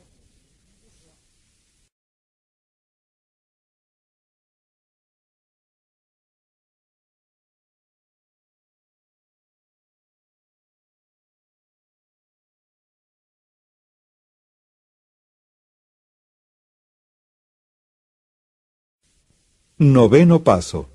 Reparamos directamente a cuantos nos fue posible el daño causado, excepto cuando el hacerlo implicaba perjuicio para ellos o para otros. Buen juicio, capacidad para escoger el momento oportuno, valor y prudencia, estas son las cualidades que necesitaremos al dar el noveno paso. Después de hacer una lista de las personas a quienes hemos perjudicado, haber reflexionado cuidadosamente sobre cada caso y haber intentado adoptar la actitud adecuada para proceder, veremos que las personas a las que hemos de hacer reparaciones directas se clasifican en diversas categorías. A algunas nos debemos dirigir tan pronto como nos sintamos razonablemente seguros de poder mantener nuestra sobriedad. A otras no podremos hacer sino enmiendas parciales, ya que una plena revelación les podría hacer a ellos o a otras personas más mal que bien. En otros casos, será aconsejable dejar pasar un tiempo antes de hacer reparaciones, y en otros más, por la misma naturaleza de la situación, nunca nos será posible ponernos en contacto directo con las personas. La mayoría de nosotros empezamos a hacer ciertas enmiendas directas desde el día que nos unimos a Alcohólicos Anónimos. En el momento en que decimos a nuestras familias que de verdad vamos a intentar practicar el programa, se inicia el proceso. En esta esfera, rara vez hay dudas en cuanto a escoger el momento oportuno o andar con cautela. Queremos entrar por la puerta anunciando a gritos las buenas nuevas. Al regresar de nuestra primera reunión, o tal vez después de leer el libro Alcohólicos Anónimos, normalmente tenemos ganas de sentarnos con algún miembro de la familia dispuestos a admitir los daños que hemos causado por nuestra forma de beber. Casi siempre queremos hacer más. Queremos admitir otros defectos que han hecho difícil convivir con nosotros. Esta será una situación nueva, muy diferente de aquellas mañanas de resaca, cuando de un momento a otro pasábamos de despreciarnos a nosotros mismos a culpar a la familia y a todo el mundo por nuestros problemas. En este primer intento, solo es necesario que admitamos nuestros defectos de una forma general. En esta etapa, puede ser poco sensato sacar a relucir ciertos episodios angustiosos. El buen juicio nos sugerirá que andemos a paso mesurado. Aunque estemos completamente dispuestos a confesar lo peor, tenemos que recordar que no podemos comprar nuestra tranquilidad de espíritu a expensas ajenas. Se puede aplicar un enfoque muy parecido en la oficina o en la fábrica. Enseguida pensaremos en algunas personas que están bien enteradas de nuestra forma de beber y que se han visto más afectadas. Pero incluso en estos casos, puede que nos convenga ser más discretos de lo que fuimos con nuestra familia. Tal vez debamos esperar algunas semanas o más antes de decir nada. Primero, debemos sentirnos bastante seguros de habernos enganchado bien al programa de Alcohólicos Anónimos. Entonces, estamos en condiciones de dirigirnos a esta gente, decirle lo que Alcohólicos Anónimos es y lo que estamos intentando hacer. En este contexto podemos admitir sin reservas los daños que hemos hecho y pedir disculpas. Podemos pagar o prometer pagar cualesquier deudas económicas o de otra índole que tengamos. La bondadosa reacción que tiene la mayoría de la gente ante esta sinceridad humilde muchas veces nos asombrará. Incluso aquellos que nos han criticado más severamente y con razón frecuentemente se muestran bastante razonables la primera vez que les abordamos. Es posible que este ambiente de aprobación y alabanza tenga un efecto tan estimulante que nos haga perder el equilibrio produciendo en nosotros un apetito insaciable de más palmadas y elogios. O podemos ir al otro extremo, cuando en raras ocasiones nos dan una recepción fría o escéptica. Puede que nos sintamos tentados a discutir o insistir obstinadamente, o tal vez caemos en el desánimo y el pesimismo. Pero si nos hemos preparado bien de antemano, estas reacciones no nos desviarán de nuestro firme y equilibrado propósito. Después de esta prueba preliminar de hacer enmiendas, puede que nos sintamos tan aliviados que creamos haber terminado nuestra tarea. Querremos dormirnos en nuestros laureles puede que nos sintamos fuertemente tentados a evitar los encuentros más humillantes y aterradores que todavía nos quedan. A menudo fabricaremos excusas persuasivas con el fin de esquivar estas cuestiones. O puede que lo dejemos para mañana, diciéndonos que todavía no ha llegado la hora propicia, aunque en realidad ya hemos pasado por alto muchas buenas oportunidades de remediar una grave injuria. No hablemos de prudencia mientras sigamos valiéndonos de evasivas. En cuanto nos sintamos seguros de nuestra nueva forma de vida y con nuestro comportamiento y ejemplo hayamos empezado a convencer a los que nos rodean de que de verdad estamos mejorando, normalmente podemos hablar sin temor y con completa franqueza con aquellos que han sido gravemente afectados, incluso con aquellos que apenas se dan cuenta de lo que les hemos hecho. Las únicas excepciones serán los casos en que nuestra revelación pueda causar auténtico daño. Podemos iniciar estas conversaciones de una manera natural y casual. Pero si no se presenta la oportunidad en algún momento, querremos armarnos de valor, dirigirnos a la persona en cuestión y poner nuestras cartas boca arriba. No tenemos que sumirnos en remordimientos excesivos ante aquellos a quienes hemos perjudicado, pero a estas alturas las enmiendas deben ser francas y generosas. Solo puede haber una única consideración que frene nuestro deseo de hacer una revelación total del daño que hemos hecho. Esta se presentará en las raras ocasiones en las que el hacerlo supondría causar un grave daño a la persona a quien queremos hacer enmiendas, o de igual importancia a otras personas. Por ejemplo, no podemos contar con todo detalle nuestras aventuras amorosas a nuestros confiados cónyuges. E incluso en los casos en que es necesario hablar de tales asuntos, intentemos evitar que terceras personas, sean quienes sean, salgan perjudicadas. No aligeramos nuestra carga cuando inconsideradamente hacemos más pesada la cruz de otros pueden surgir muchas preguntas peleagudas en otros aspectos de la vida en los que entra en juego este mismo principio. Por ejemplo, supongamos que nos hemos bebido una buena parte del dinero de nuestra compañía, ya sea que lo hubiéramos tomado prestado o hubiéramos inflado excesivamente los gastos de representación. Supongamos que si no decimos nada, nadie se va a dar cuenta. confesamos inmediatamente nuestras irregularidades a nuestra compañía ante la certeza de un despido instantáneo y la perspectiva de no poder conseguir otro trabajo? ¿Vamos a ser tan rígidos respecto a las enmiendas que no nos importe lo que le pueda pasar a nuestra familia y a nuestro hogar? ¿O debemos consultar primero con aquellos que se van a ver gravemente afectados? Exponemos la situación a nuestro padrino o consejero espiritual pidiendo ardientemente la ayuda y orientación de Dios y resolviéndonos a hacer lo debido cuando sepamos con certeza cómo proceder, cueste lo que cueste. Naturalmente, no hay una contestación adecuada para resolver todos estos dilemas, pero todos ellos requieren que estemos enteramente dispuestos a hacer enmiendas tan pronto y hasta donde nos sea posible, según sean las circunstancias. Sobre todo, debemos intentar estar completamente seguros de que no lo estamos retrasando porque tenemos miedo, porque el verdadero espíritu del noveno paso es la disposición a aceptar todas las consecuencias de nuestras acciones pasadas y al mismo tiempo asumir responsabilidad por el bienestar de los demás.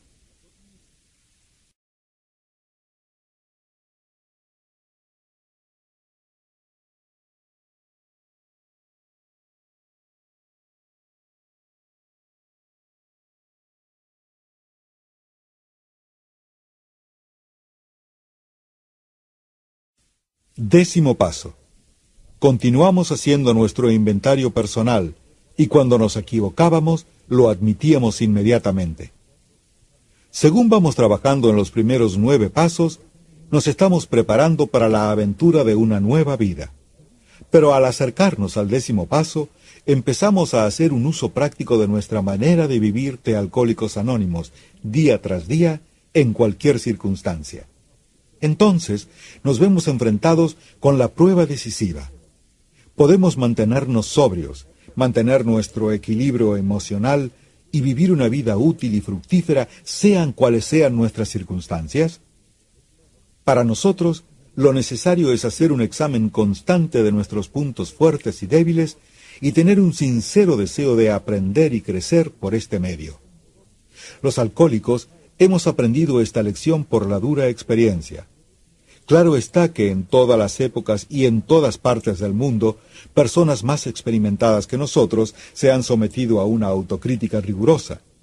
Los sabios siempre han reconocido que nadie puede esperar hacer mucho en la vida hasta que el autoexamen no se convierta en costumbre, hasta que no reconozca y acepte lo que allí encuentra y hasta que no se ponga paciente y persistentemente a corregir sus defectos. Un borracho que tiene una resaca fatal por haber bebido en exceso el día anterior, hoy no puede vivir bien. Pero hay otro tipo de resaca que todos sufrimos ya sea que bebamos o no. Es la resaca emocional, la consecuencia directa de los excesos emocionales negativos de ayer y a veces de hoy. Ira, miedo, celos y similares. Si hemos de vivir serenamente hoy y mañana, sin duda tenemos que eliminar estas resacas. Esto no significa que tengamos que hacer un morboso recorrido por nuestro pasado. Nos requiere que admitamos y corrijamos nuestros errores ahora. Nuestro inventario nos hace posible reconciliarnos con nuestro pasado. Al hacer esto, realmente podemos dejarlo atrás. Cuando hemos hecho un minucioso inventario y estamos en paz con nosotros mismos, nos viene la convicción de que podremos afrontar las dificultades futuras conforme se nos vayan presentando. Aunque todos los inventarios se parecen en principio, el factor tiempo es lo que distingue el uno del otro. Existe el inventario instantáneo, que se puede hacer a cualquier hora del día cuando vemos que nos estamos liando. Hay otro que hacemos al final del día, cuando repasamos los sucesos de las últimas horas. En este, hacemos una especie de balance, apuntando en la columna positiva las cosas que hemos hecho bien y en la negativa los errores que hemos cometido. Hay también ocasiones en las que solos o en compañía de nuestro padrino o consejero espiritual hacemos un detallado repaso de nuestros progresos desde la última vez. Muchos alcohólicos anónimos acostumbran a hacer una limpieza general una o dos veces al año. A muchos de nosotros nos gusta retirarnos del mundanal ruido para tranquilizarnos y dedicar uno o dos días a meditar y revisar nuestras vidas. ¿No parecen estas costumbres tan aburridas como pesadas? ¿Tenemos los alcohólicos anónimos que dedicar la mayor parte del día a repasar lóbregamente nuestros pecados y descuidos? No lo creo. Se ha dado un énfasis tan marcado al inventario solamente porque muchos de nosotros nunca nos hemos acostumbrado a examinarnos rigurosa e imparcialmente. Una vez adquirido este sano hábito, nos resultará tan interesante y provechoso que el tiempo que dediquemos a hacerlo no nos podrá parecer perdido. Porque estos minutos, o a veces horas que pasamos haciendo nuestro autoexamen, tienen que hacer que las demás horas del día sean más gratas y felices.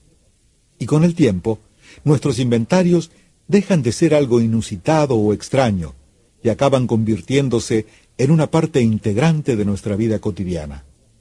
Antes de entrar en detalles en cuanto al inventario instantáneo, consideremos las circunstancias en las que un inventario de esta índole puede sernos de utilidad. Considerado desde un punto de vista espiritual, es axiomático que cada vez que nos sentimos trastornados, sea cual sea la causa, hay algo que anda mal en nosotros. Si alguien nos ofende o nos enfadamos, también nosotros andamos mal. Pero, ¿no hay ninguna excepción a esta regla? ¿Y la ira justificada? ¿Y si alguien nos engaña, no tenemos derecho a enfadarnos? ¿Acaso no podemos sentirnos justificadamente airados con la gente hipócrita? Para nosotros, los alcohólicos anónimos, estas son excepciones peligrosas. Hemos llegado a darnos cuenta de que la ira justificada debe dejarse a gente mejor capacitada que nosotros para manejarla.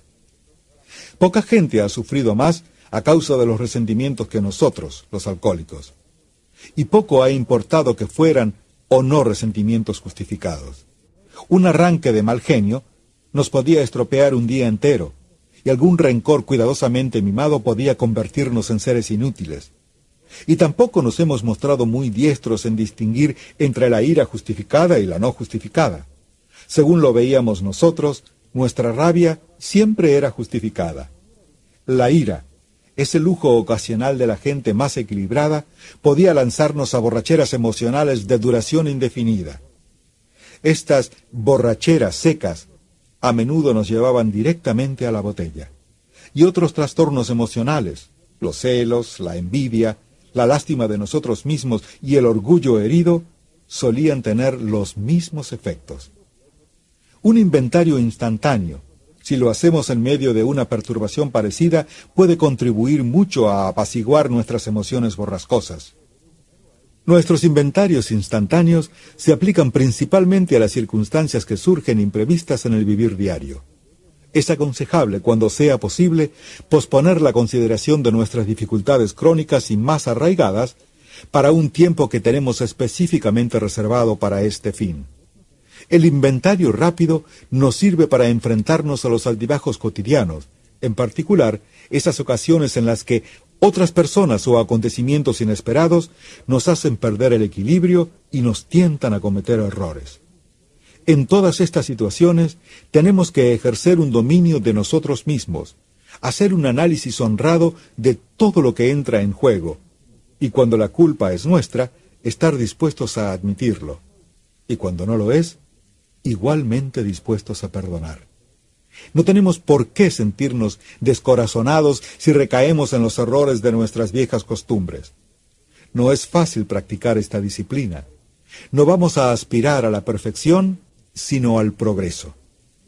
Nuestro primer objetivo será adquirir dominio de nosotros mismos. Esto tiene la más alta prioridad.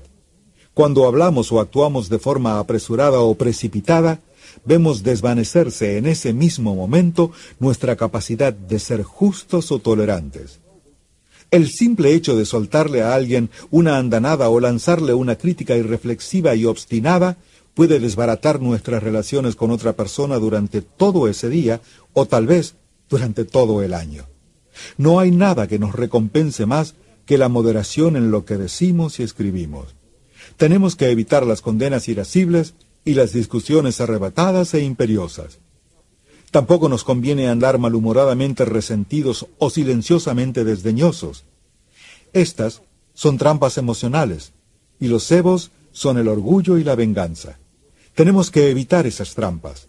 Al sentirnos tentados a tragar el anzuelo, debemos acostumbrarnos a hacer una pausa para recapacitar. Porque no podemos pensar ni actuar con buenos resultados hasta que el hábito de ejercer un dominio de nosotros mismos no haya llegado a ser automático. Las situaciones desagradables o imprevistas no son las únicas que exigen el dominio de uno mismo. Tendremos que proceder con la misma cautela cuando empecemos a lograr un cierto grado de importancia o éxito material, porque a nadie le han encantado más que a nosotros los triunfos personales. Nos hemos bebido el éxito como si fuera un vino que siempre nos alegraría. Si disfrutábamos de una racha de buena suerte, nos entregábamos a la fantasía soñando con victorias aún más grandes sobre la gente y las circunstancias. Así cegados por una soberbia confianza en nosotros mismos, éramos propensos a darnos las de personajes. Por supuesto que la gente herida o aburrida nos volvía la espalda. Ahora que somos miembros de Alcohólicos Anónimos y estamos sobrios y vamos recobrando la estima de nuestros amigos y colegas, nos damos cuenta de que todavía nos es necesario ejercer una vigilancia especial. Para asegurarnos contra un ataque de soberbia, podemos frenarnos recordando que estamos sobrios hoy solo por la gracia de Dios y que cualquier éxito que tengamos se debe más a Él que a nosotros mismos. Finalmente, empezamos a darnos cuenta de que todos los seres humanos, al igual que nosotros, están hasta algún grado enfermos emocionalmente, así como frecuentemente equivocados, y al reconocer esto, nos aproximamos a la auténtica tolerancia y vemos el verdadero significado del amor genuino para con nuestros semejantes. Conforme progresamos en nuestro camino, nos parecerá cada vez más evidente lo poco sensato que es enfadarnos o sentirnos lastimados por personas que, como nosotros, están sufriendo los dolores de crecimiento. Tardaremos algún tiempo, y quizás mucho tiempo, en notar un cambio tan radical en nuestra perspectiva.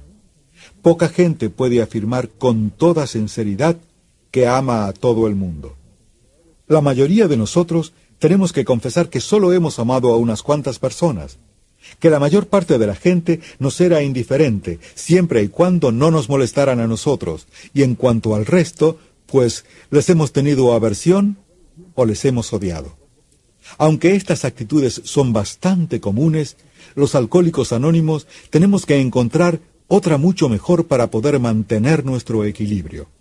Si odiamos profundamente, acabamos desequilibrados. La idea de que podamos amar posesivamente a unas cuantas personas, ignorar a la mayoría y seguir temiendo u odiando a cualquier persona, tiene que abandonarse, aunque sea gradualmente.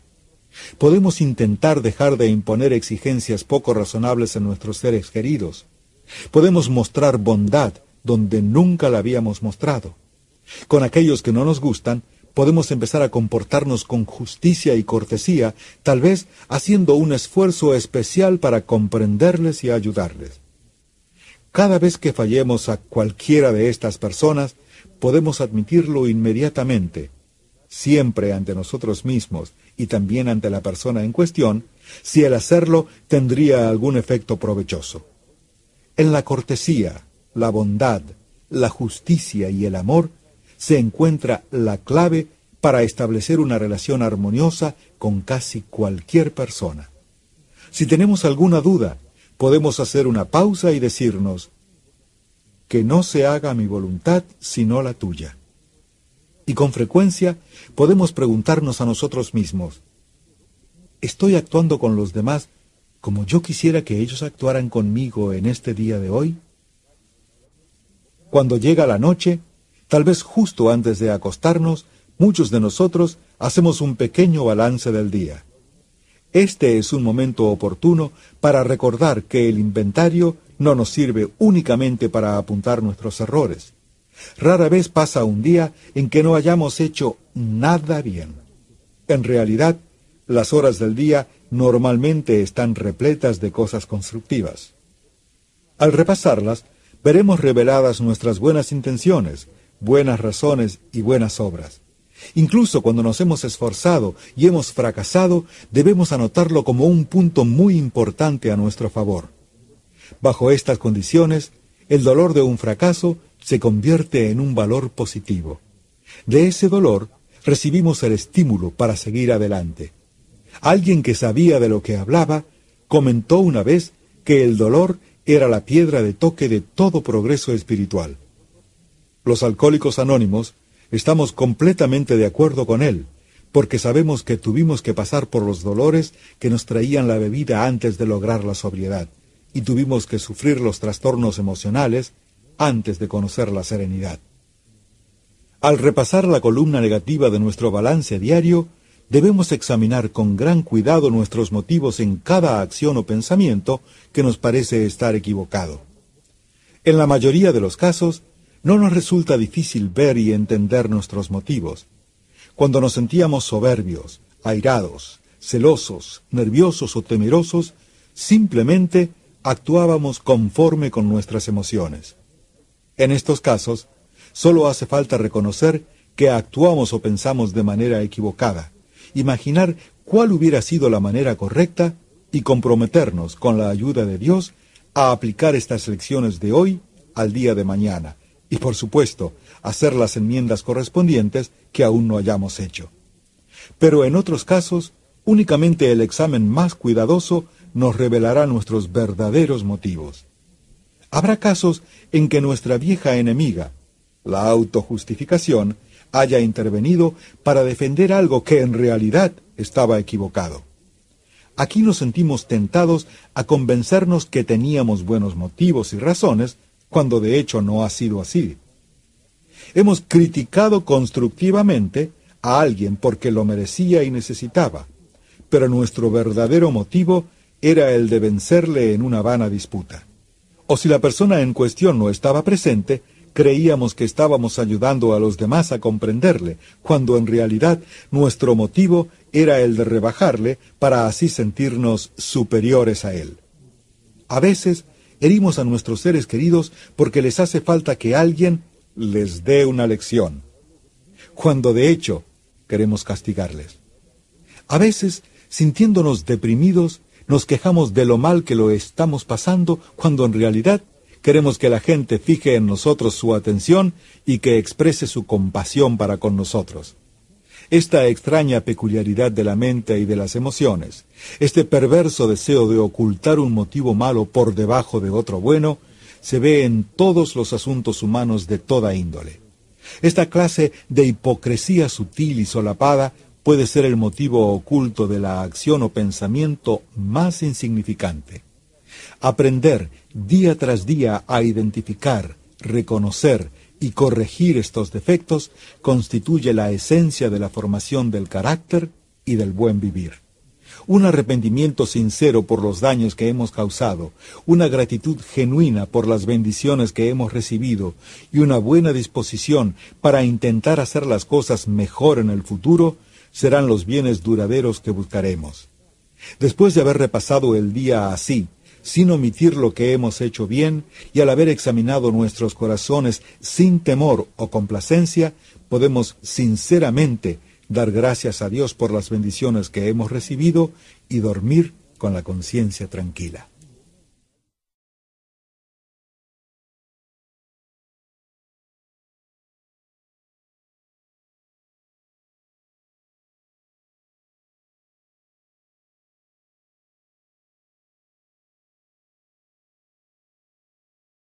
Undécimo paso.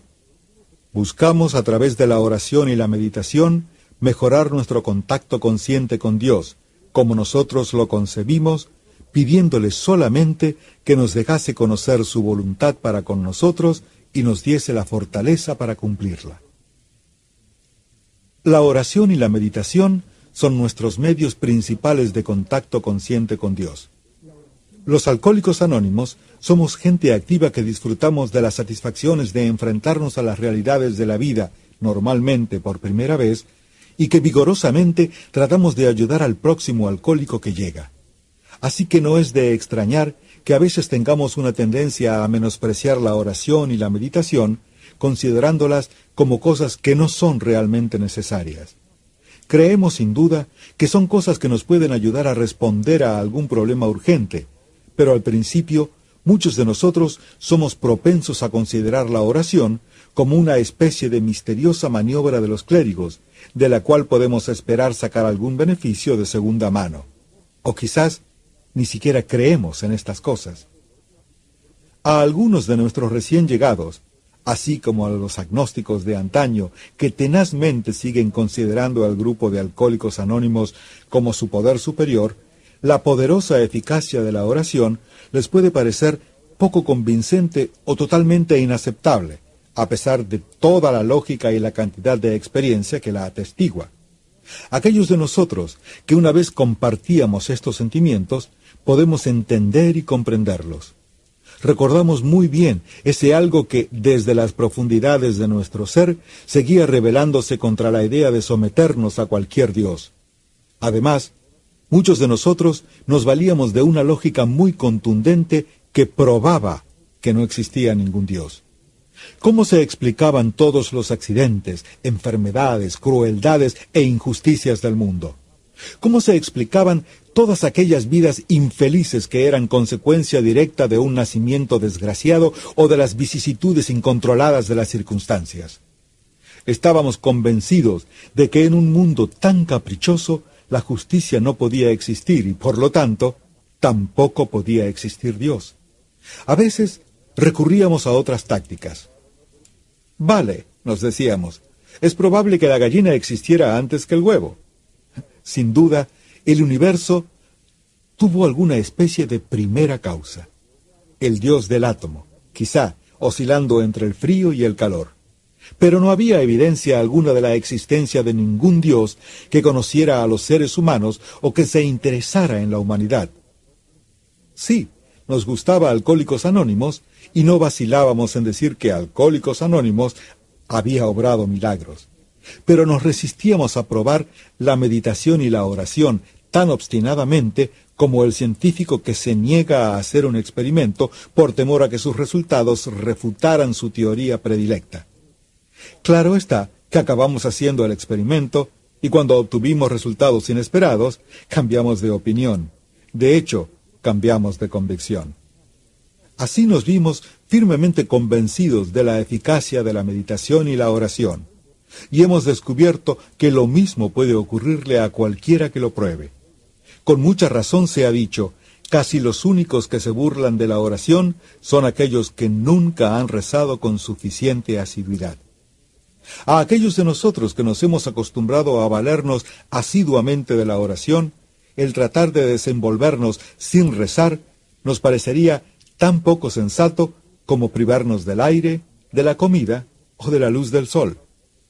Y por la misma razón, cuando nos privamos del aire, de la comida o de la luz del sol, el cuerpo sufre. Y de la misma manera, cuando nos negamos a rezar y a meditar, privamos a nuestras mentes, a nuestras emociones y a nuestras intuiciones de un apoyo vital y necesario. Así como el cuerpo puede fallar en sus funciones por falta de alimento, también puede fallar el alma. Todos tenemos necesidad de la luz de la realidad de Dios, del alimento de su fortaleza y del ambiente de su gracia. Las realidades de la vida de Alcohólicos Anónimos confirman esta verdad eterna de una manera asombrosa. Existe un encadenamiento directo entre el examen de conciencia, la meditación y la oración. Cada una de estas prácticas por sí sola puede producir un gran alivio y grandes beneficios. Pero cuando se entrelazan y se interrelacionan de una manera lógica, el resultado es una base firme para toda la vida. Puede que de vez en cuando se nos conceda vislumbrar aquella realidad perfecta que es el reino de Dios, y tendremos el consuelo y el aval de que nuestro destino individual en ese reino quedará asegurado mientras intentemos, por vacilantes que sean nuestros pasos, conocer y hacer la voluntad de nuestro Creador. Como ya hemos visto, nos valemos del autoexamen para iluminar el lado oscuro de nuestra naturaleza con una nueva visión, acción y gracia. Es un paso que dimos hacia el cultivo de esta clase de humildad que nos hace posible recibir la ayuda de Dios. Pero no es más que un solo paso. Vamos a querer ir más lejos. Querremos que crezca y florezca lo bueno que hay en todos nosotros, incluso en los peores de nosotros. Sin duda, necesitaremos aire fresco y comida en abundancia. Pero sobre todo, querremos la luz del sol. Hay poco que pueda crecer en la oscuridad. La meditación es nuestro paso hacia el sol. ¿Cómo entonces hemos de meditar? A lo largo de los siglos, la experiencia concreta de la meditación y la oración ha sido, por supuesto, inmensa. Las bibliotecas y los templos del mundo constituyen una rica fuente de tesoros por descubrir para todo aquel que busque. Es de esperar que todo alcohólico anónimo que haya tenido una formación religiosa, que valora la meditación, vuelva a practicarla con mayor devoción que nunca. Pero, ¿qué vamos a hacer el resto de nosotros, menos afortunados, que ni siquiera sabemos cómo empezar. Bueno, podríamos empezar de la siguiente manera. Busquemos primero una buena oración. No tendremos que buscar muy lejos. Los grandes hombres y mujeres de todas las religiones nos han legado una maravillosa colección. Vamos a considerar aquí una que se cuenta entre las clásicas. Su autor era un hombre que desde hace ya varios siglos ha sido considerado como un santo. No vamos a dejar que este hecho nos cause ningún prejuicio ni ningún temor, porque aunque no era alcohólico, también tuvo que pasar, al igual que nosotros, por unos grandes sufrimientos emocionales. Y al salir de estas dolorosas experiencias, expresó con la siguiente oración lo que entonces podía ver, sentir y desear. Dios, hazme un instrumento de tu paz. Que donde haya odio, siembre amor. Donde haya injuria, perdón. Donde haya discordia, armonía. Donde haya error, verdad. Donde haya duda, fe. Donde haya desesperación, esperanza. Donde haya sombras, luz. Donde haya tristeza, alegría. Dios, Concédeme que busque no ser consolado, sino consolar, no ser comprendido, sino comprender, no ser amado, sino amar, porque olvidándome de mí mismo, me encuentro, perdonando, se me perdona, muriendo en ti, nazco a la vida eterna. Amén. Ya que somos principiantes en la meditación, puede ser conveniente que volvamos a leer esta oración varias veces muy lentamente, saboreando cada palabra e intentando absorber el significado profundo de cada frase e idea. Nos vendrá aún mejor si podemos entregarnos sin resistencia alguna a lo expresado por nuestro amigo. Porque en la meditación no hay lugar para el debate. Descansamos tranquilamente con los pensamientos de alguien que sabe a fin de poder experimentar y aprender como si estuviéramos tumbados en una playa soleada, serenémonos y respiremos profundamente el ambiente espiritual que por la gracia de esta oración nos rodea. Dispongámonos a sentir y a ser fortalecidos y elevados por la gran belleza, amor y poder espiritual expresado por estas magníficas palabras. Dirijamos ahora nuestra mirada al mar y contemplemos su misterio y levantemos los ojos al lejano horizonte más allá del cual buscaremos todas aquellas maravillas que aún no hemos visto. Venga, hombre, dice alguien. Vaya tonterías. No es nada práctico. Al vernos acosados por tales pensamientos, nos valdría recordar con cierto pesar el enorme valor que solíamos dar a nuestra imaginación cuando intentaba fabricarnos una realidad basada en la botella. Sí, nos deleitábamos con esa forma de pensar, ¿verdad? Y aunque ahora nos encontráramos sobrios, ¿no es cierto que a menudo intentamos hacer algo parecido? Tal vez nuestro problema no era que utilizáramos nuestra imaginación. Tal vez el problema real era nuestra casi total incapacidad para encaminar nuestra imaginación hacia unos objetivos apropiados. La imaginación constructiva no tiene nada de malo. Todo logro seguro y deseable se basa en ella. A fin de cuentas, nadie puede construir una casa hasta que no haya concebido un plan para hacerla. Bueno, La meditación también es así. Nos ayuda a concebir nuestro objetivo espiritual antes de que empecemos a avanzar para conseguirlo. Así que regresemos a aquella soleada playa, o si prefieres, a las llanuras o las montañas. Cuando por tales simples medios hayamos alcanzado un estado de ánimo que nos permite enfocarnos quietamente en la imaginación constructiva, podemos proceder de la siguiente manera. Volvemos a leer nuestra oración y nuevamente intentamos apreciar la esencia de su significado. Nos pondremos a pensar en el hombre que originalmente la rezó. Ante todo, quería convertirse en un instrumento. Luego pidió la gracia para llevar el amor, el perdón, la armonía, la verdad, la fe, la esperanza, la luz y la alegría a todos cuantos pudiera. A continuación, expresó una aspiración y una esperanza para él mismo. Esperaba que Dios le permitiera también a él encontrar algunos de estos tesoros. Esto lo intentaría hacer olvidándose de sí mismo. ¿Qué quería decir esto de olvidarse a sí mismo? ¿Y cómo se propuso realizarlo? Le parecía mejor consolar que ser consolado, comprender que ser comprendido, perdonar que ser perdonado.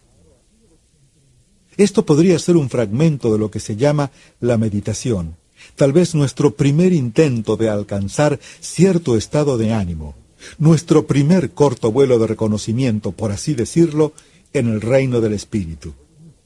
Después de hacerlo, nos convendría estudiar detenidamente nuestra situación actual e imaginar lo que podría sucedernos en nuestra vida si pudiéramos acercarnos aún más al ideal que hemos intentado vislumbrar. La meditación es algo que siempre puede perfeccionarse. No tiene límites, ni de alturas ni de amplitud. Aunque aprovechamos las enseñanzas y los ejemplos que podamos encontrar, la meditación es, en su esencia, una aventura individual y cada uno de nosotros la practica a su manera. No obstante, siempre tiene un solo objetivo, mejorar nuestro contacto consciente con Dios, con su gracia, su sabiduría y su amor. Y tengamos siempre presente que la meditación es en realidad de un gran valor práctico. Uno de sus primeros frutos es el equilibrio emocional. Valiéndonos de la meditación, podemos ampliar y profundizar el conducto entre nosotros y Dios como cada cual lo conciba. Consideremos ahora la oración. Orar es levantar el corazón y la mente hacia Dios, y en ese sentido, la oración incluye la meditación. ¿Cómo hemos de hacerlo? ¿Y qué relación tiene con la meditación? Según se entiende comúnmente, la oración es una petición a Dios. Al haber abierto nuestro conducto como mejor podamos, intentamos pedir aquellas cosas justas de las que nosotros y los demás tenemos la más urgente necesidad. Y creemos que la gama completa de nuestras necesidades queda bien definida en aquella parte del undécimo paso que dice, que nos dejase conocer su voluntad para con nosotros y nos diese la fortaleza para cumplirla. Una petición así es apropiada a cualquier hora del día. Por la mañana, pensamos en las horas que vendrán. Tal vez pensemos en el trabajo que nos espera y las ocasiones que tendremos de ser serviciales o de utilidad, o en algún problema particular que se nos pueda presentar. Es posible que hoy nos veamos nuevamente enfrentados con un grave problema de ayer que no pudimos solucionar. La tentación inmediata será la de pedir soluciones específicas a problemas específicos así como la capacidad para ayudar a otra gente de acuerdo con nuestro concepto de cómo se debe hacer. En este caso, estamos pidiendo a Dios que obre a nuestra manera. Por lo tanto, debemos considerar cada petición cuidadosamente para poder apreciarla según sus verdaderos méritos. Aún así, al hacer cualquier petición específica, nos convendrá añadir las palabras, si esa es tu voluntad. Simplemente pedimos a Dios que a lo largo del día nos ayude a conocer lo mejor que podamos su voluntad para aquel día y que nos conceda la gracia suficiente para cumplirla. A medida que transcurre el día, al vernos enfrentados con algún problema o con una decisión que tomar, será conveniente que hagamos una pausa y renovemos la sencilla petición. Hágase tu voluntad y no la mía. Si en estos momentos ocurre que nuestros trastornos emocionales son muy grandes, es mucho más probable que mantengamos nuestro equilibrio si recordamos y volvemos a recitar alguna oración o alguna frase que nos haya atraído especialmente en nuestras lecturas o meditaciones. En los momentos de tensión, el mero hecho de repetirla una y otra vez a menudo nos hará posible desatascar un conducto bloqueado por la ira, el miedo, la frustración o los malos entendidos, y volver a acudir a la ayuda más segura de todas, nuestra búsqueda de la voluntad de Dios y no la nuestra. En estos momentos críticos, si nos recordamos a nosotros mismos que es mejor consolar que ser consolados, comprender que ser comprendidos, amar que ser amados, estaremos conformes con la intención del undécimo paso. Es razonable y comprensible que a menudo se haga la pregunta ¿por qué no podemos presentarle a Dios un dilema específico e inquietante y en nuestras oraciones obtener de Él una respuesta segura y definitiva a nuestra petición? Esto se puede hacer, pero lleva consigo algunos riesgos. Hemos visto a muchos alcohólicos anónimos pedir a Dios con gran sinceridad y fe que les dé su orientación expresa referente a asuntos que abarcan desde una arrolladora crisis doméstica o financiera hasta cómo corregir algún pequeño defecto como la falta de puntualidad. No obstante, muy a menudo, las ideas que parecen venir de Dios no son soluciones en absoluto. Resultan ser autoengaños inconscientes, aunque bien intencionados. El miembro de Alcohólicos Anónimos, y de hecho, cualquier persona que intenta dirigir su vida rígidamente por medio de esta clase de oración, esta exigencia egoísta de que Dios le responda, es un individuo especialmente desconcertante. Cuando se pone en duda o se critica cualquiera de sus acciones, inmediatamente las justifica citando su dependencia de la oración para obtener orientación en todo asunto, grande o pequeño.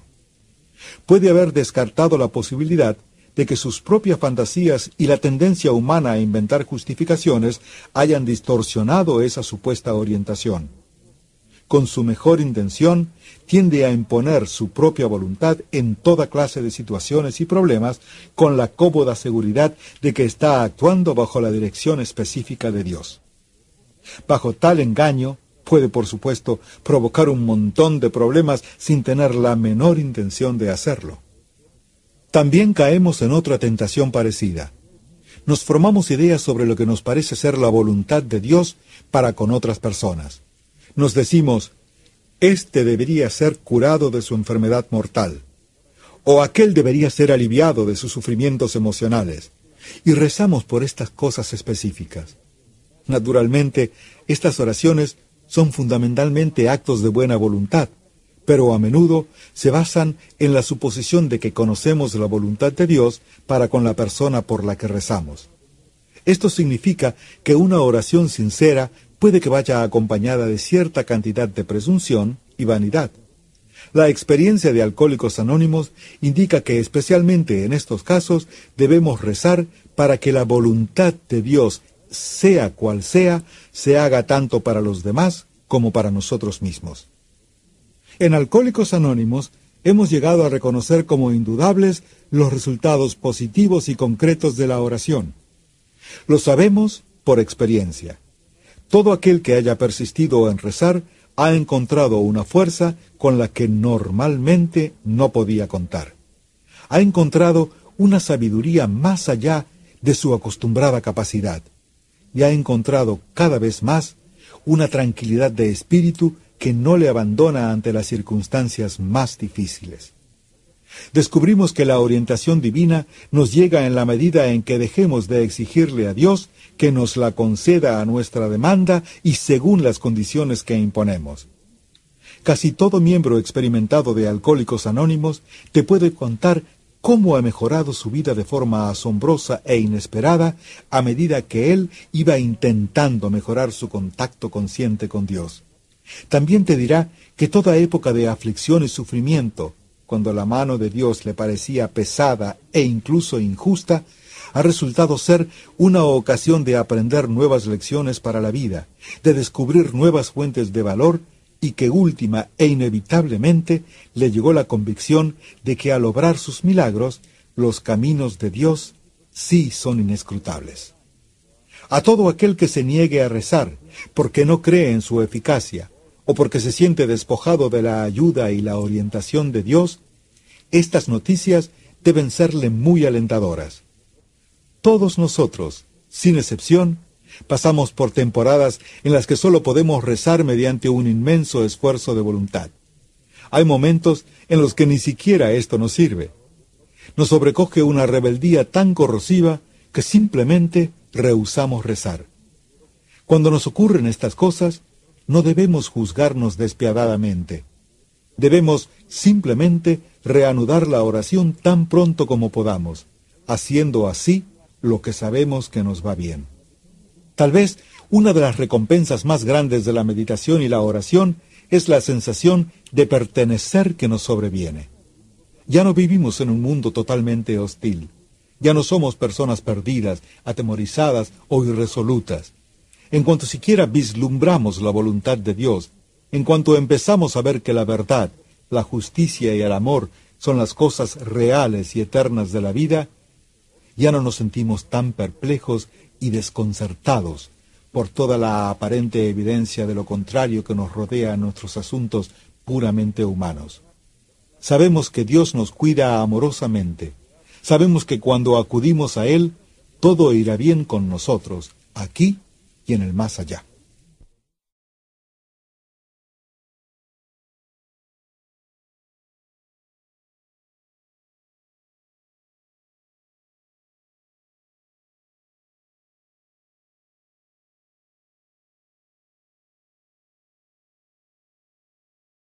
Duodécimo paso. Habiendo obtenido un despertar espiritual como resultado de estos pasos, tratamos de llevar el mensaje a los alcohólicos y de practicar estos principios en todos nuestros asuntos. La alegría de vivir es el tema del duodécimo paso de Alcohólicos Anónimos y su palabra clave es acción. En este paso salimos de nosotros mismos y nos dirigimos a nuestros compañeros alcohólicos que todavía sufren. Tenemos la experiencia de dar sin esperar ninguna recompensa. Empezamos a practicar todos los doce pasos del programa en nuestras vidas diarias para que nosotros y todos aquellos a nuestro alrededor podamos encontrar la sobriedad emocional. Cuando se aprecian todas las implicaciones del paso 12, se ve que en realidad nos habla de la clase de amor al que no se puede poner precio. Nuestro paso 12 también nos dice que, como resultado de practicar todos los pasos, cada uno de nosotros ha experimentado algo que se llama un despertar espiritual. A los nuevos miembros de Alcohólicos Anónimos, este asunto les parece bastante dudoso, por no decir increíble preguntan, ¿qué quieres decir con esto de un despertar espiritual? Puede que haya tantas definiciones del despertar espiritual como personas que lo han experimentado. No obstante, es indudable que todos los que sean auténticos tienen algo en común. Y lo que tienen en común no es muy difícil de entender.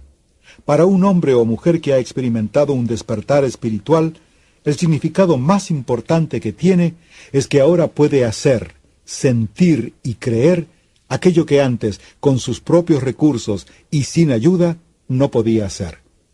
Se le ha concedido un don que le produce un nuevo estado de conciencia y una nueva forma de ser.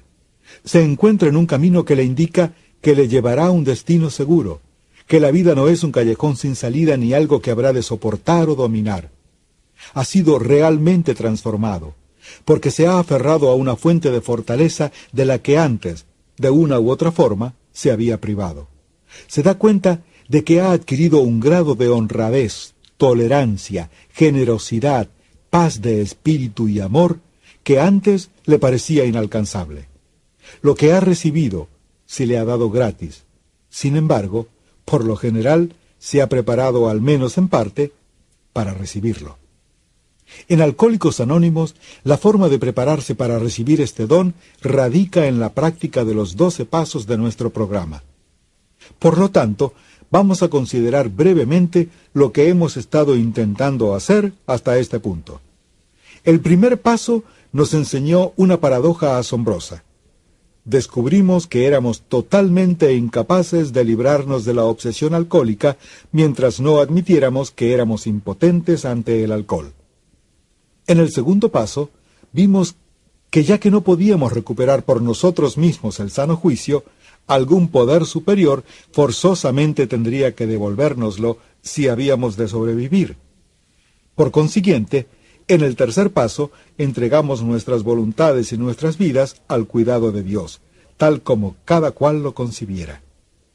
Los que éramos ateos o agnósticos descubrimos que provisionalmente nuestro grupo o alcohólicos anónimos como un todo nos podía servir de poder superior. Con el cuarto paso comenzamos a intentar identificar en nosotros mismos las cosas que nos habían llevado a la bancarrota física, moral y espiritual. Hicimos sin miedo un minucioso inventario moral. Al considerar el quinto paso, llegamos a la conclusión de que un inventario hecho a solas no sería suficiente. Supimos que tendríamos que abandonar la costumbre mortal de vivir a solas con nuestros conflictos y con toda sinceridad confesárselo a Dios y a otro ser humano. Muchos de nosotros nos resistimos a dar el sexto paso por el simple motivo práctico de no querer que se nos eliminasen todos nuestros defectos de carácter porque todavía nos sentíamos encantados con algunos de ellos. No obstante, nos dimos cuenta de que tendríamos que ajustarnos de alguna forma al principio fundamental del sexto paso. Por consiguiente, decidimos que, aunque todavía teníamos algunos defectos de carácter a los que no queríamos renunciar, no obstante, debíamos dejar de aferrarnos a ellos de una forma obstinada y rebelde. Nos dijimos a nosotros mismos, tal vez esto no lo puedo hacer hoy, pero puedo dejar de gritar no nunca. Luego, en el séptimo paso, pedimos humildemente a Dios que eliminase nuestros defectos según le conveniera y de acuerdo con las condiciones del día en que se lo pedimos. En el octavo paso, seguíamos poniendo nuestras casas en orden, porque nos dábamos cuenta de que estábamos en conflicto no solamente con nosotros mismos, sino también con la gente y las circunstancias del mundo en que vivíamos. Teníamos que hacer las paces y por lo tanto hicimos una lista de las personas a quienes habíamos causado daño y llegamos a estar dispuestos a hacer enmiendas. Consecuentemente, en el noveno paso nos pusimos a hacer las enmiendas directamente a las personas afectadas, excepto cuando el hacerlo pudiera perjudicar a ellos o a otras personas. Llegados al décimo paso, ya Habíamos sentado las bases para nuestra vida diaria y nos dimos cuenta claramente de que tendríamos que seguir haciendo nuestro inventario personal y que cuando nos equivocáramos deberíamos admitirlo inmediatamente. En el undécimo paso vimos que si un poder superior nos había devuelto el sano juicio y nos había hecho posible vivir con alguna tranquilidad de espíritu en un mundo gravemente trastornado, valdría la pena conocerle mejor, por el contacto más directo que nos fuera posible. Descubrimos que el uso asiduo de la meditación y la oración nos iba abriendo un más amplio conducto, de tal forma que donde antes discurría un arroyuelo, ahora fluía un río que nos llevaba a la orientación y al poder seguros de Dios a medida que aumentaba nuestra capacidad para entenderlo. Así que practicando estos pasos, acabamos por experimentar un despertar espiritual y la realidad de esta experiencia nos era indudable. Al observar a los que sólo habían dado un comienzo y todavía dudaban de sí mismos, el resto de nosotros podíamos ver amanecer la transformación. Pasándonos en multitud de experiencias similares, nos era posible predecir que el incrédulo que seguía protestando, que no captaba el aspecto espiritual y que todavía consideraba a su querido grupo de alcohólicos anónimos como el poder superior, tardaría poco en amar a Dios y en llamarle por su nombre. Contemplemos ahora el resto del paso 12. la maravillosa energía que libera y la ávida acción con la que lleva nuestro mensaje al alcohólico que aún sufre y que acaba por convertir los doce pasos en acción en todos los asuntos de nuestra vida, es el gran beneficio, la realidad magnífica de Alcohólicos Anónimos. Incluso el miembro más recién llegado, cuando se esfuerza por ayudar a su hermano alcohólico que anda aún más ciego que él, encuentra recompensas inimaginables. Esta es, de verdad, la dádiva que no exige nada a cambio. Él no espera que su compañero de fatigas le pague, ni siquiera que lo ame. Luego se da cuenta de que por medio de esta paradoja divina, al dar así, sin esperar nada, ha encontrado su propia recompensa, ya sea que su hermano haya recibido algo o no. Aunque tenga todavía algunos defectos de carácter muy graves, de una u otra manera, sabe que Dios le ha capacitado para dar un gran comienzo y le llena la sensación de haber llegado al umbral de nuevos misterios, alegrías y experiencias con los que nunca jamás había soñado. Casi todo miembro de Alcohólicos Anónimos te dirá que no hay satisfacción más profunda, ni alegría mayor que la entrañada por un trabajo de paso doce bien hecho ver cómo se abren maravillados los ojos de hombres y mujeres a medida que pasan de la oscuridad a la luz, ver cómo sus vidas se llenan rápidamente de una nueva significación y determinación, ver a familias enteras reunidas, ver cómo el alcohólico rechazado por la sociedad vuelve a integrarse en su comunidad como un ciudadano de pleno derecho, y sobre todo, ver a esta gente despertarse ante la presencia de un Dios amoroso en sus vidas, estas cosas son la esencia de lo que recibimos cuando llevamos el mensaje de Alcohólicos Anónimos a otro alcohólico. Pero esta no es la única forma de trabajo de Paso 12. Asistimos a las reuniones de Alcohólicos Anónimos y escuchamos no solamente para recibir algo, sino también para dar el consuelo y el apoyo que nuestra presencia puede significar para otros. Si nos toca a nosotros hablar en una reunión, de nuevo tratamos de llevar el mensaje de Alcohólicos Anónimos. Ya sea que tengamos uno o muchos oyentes, sigue siendo un trabajo de paso doce.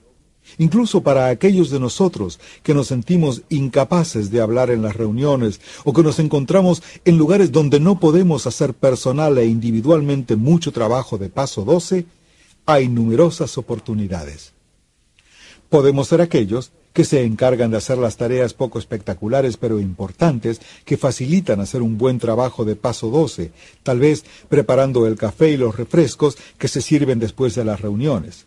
En este ambiente de risas y conversaciones, muchos principiantes escépticos y recelosos se han sentido fortalecidos y reconfortados. Este es trabajo de paso 12 en el mejor sentido de la palabra. Libremente hemos recibido libremente debemos dar. Es la esencia de este aspecto del paso 12. Puede que a menudo pasemos por experiencias de paso 12 en las que temporalmente parece que nos hemos equivocado. En estos momentos es posible que estas experiencias nos parezcan grandes reveses, pero más tarde las veremos como trampolines hacia cosas mejores. Por ejemplo, puede que nos empeñemos en conseguir que una persona determinada logre la sobriedad, y después de haber hecho todo lo posible durante meses, le vemos recaer.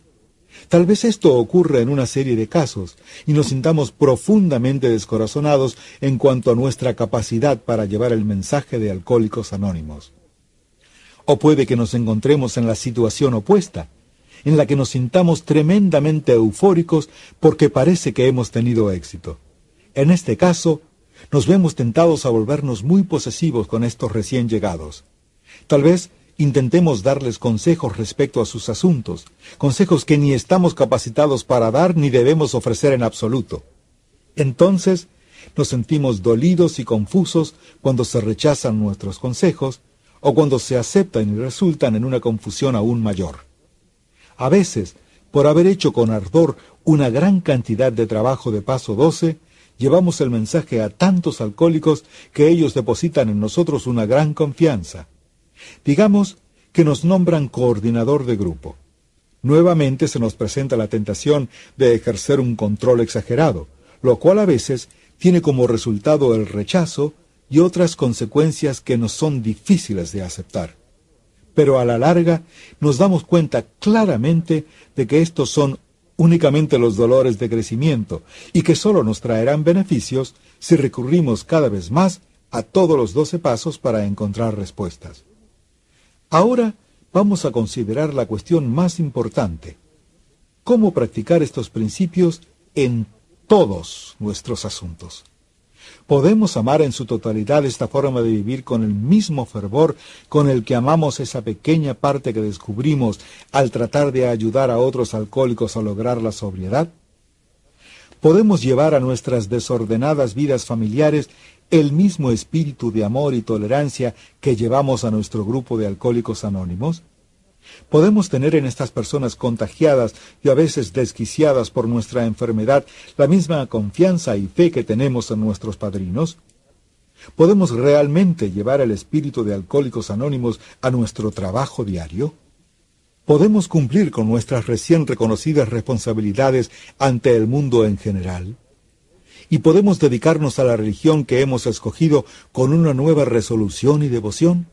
Podemos encontrar una nueva alegría de vivir al tratar de hacer algo respecto a todas estas cosas.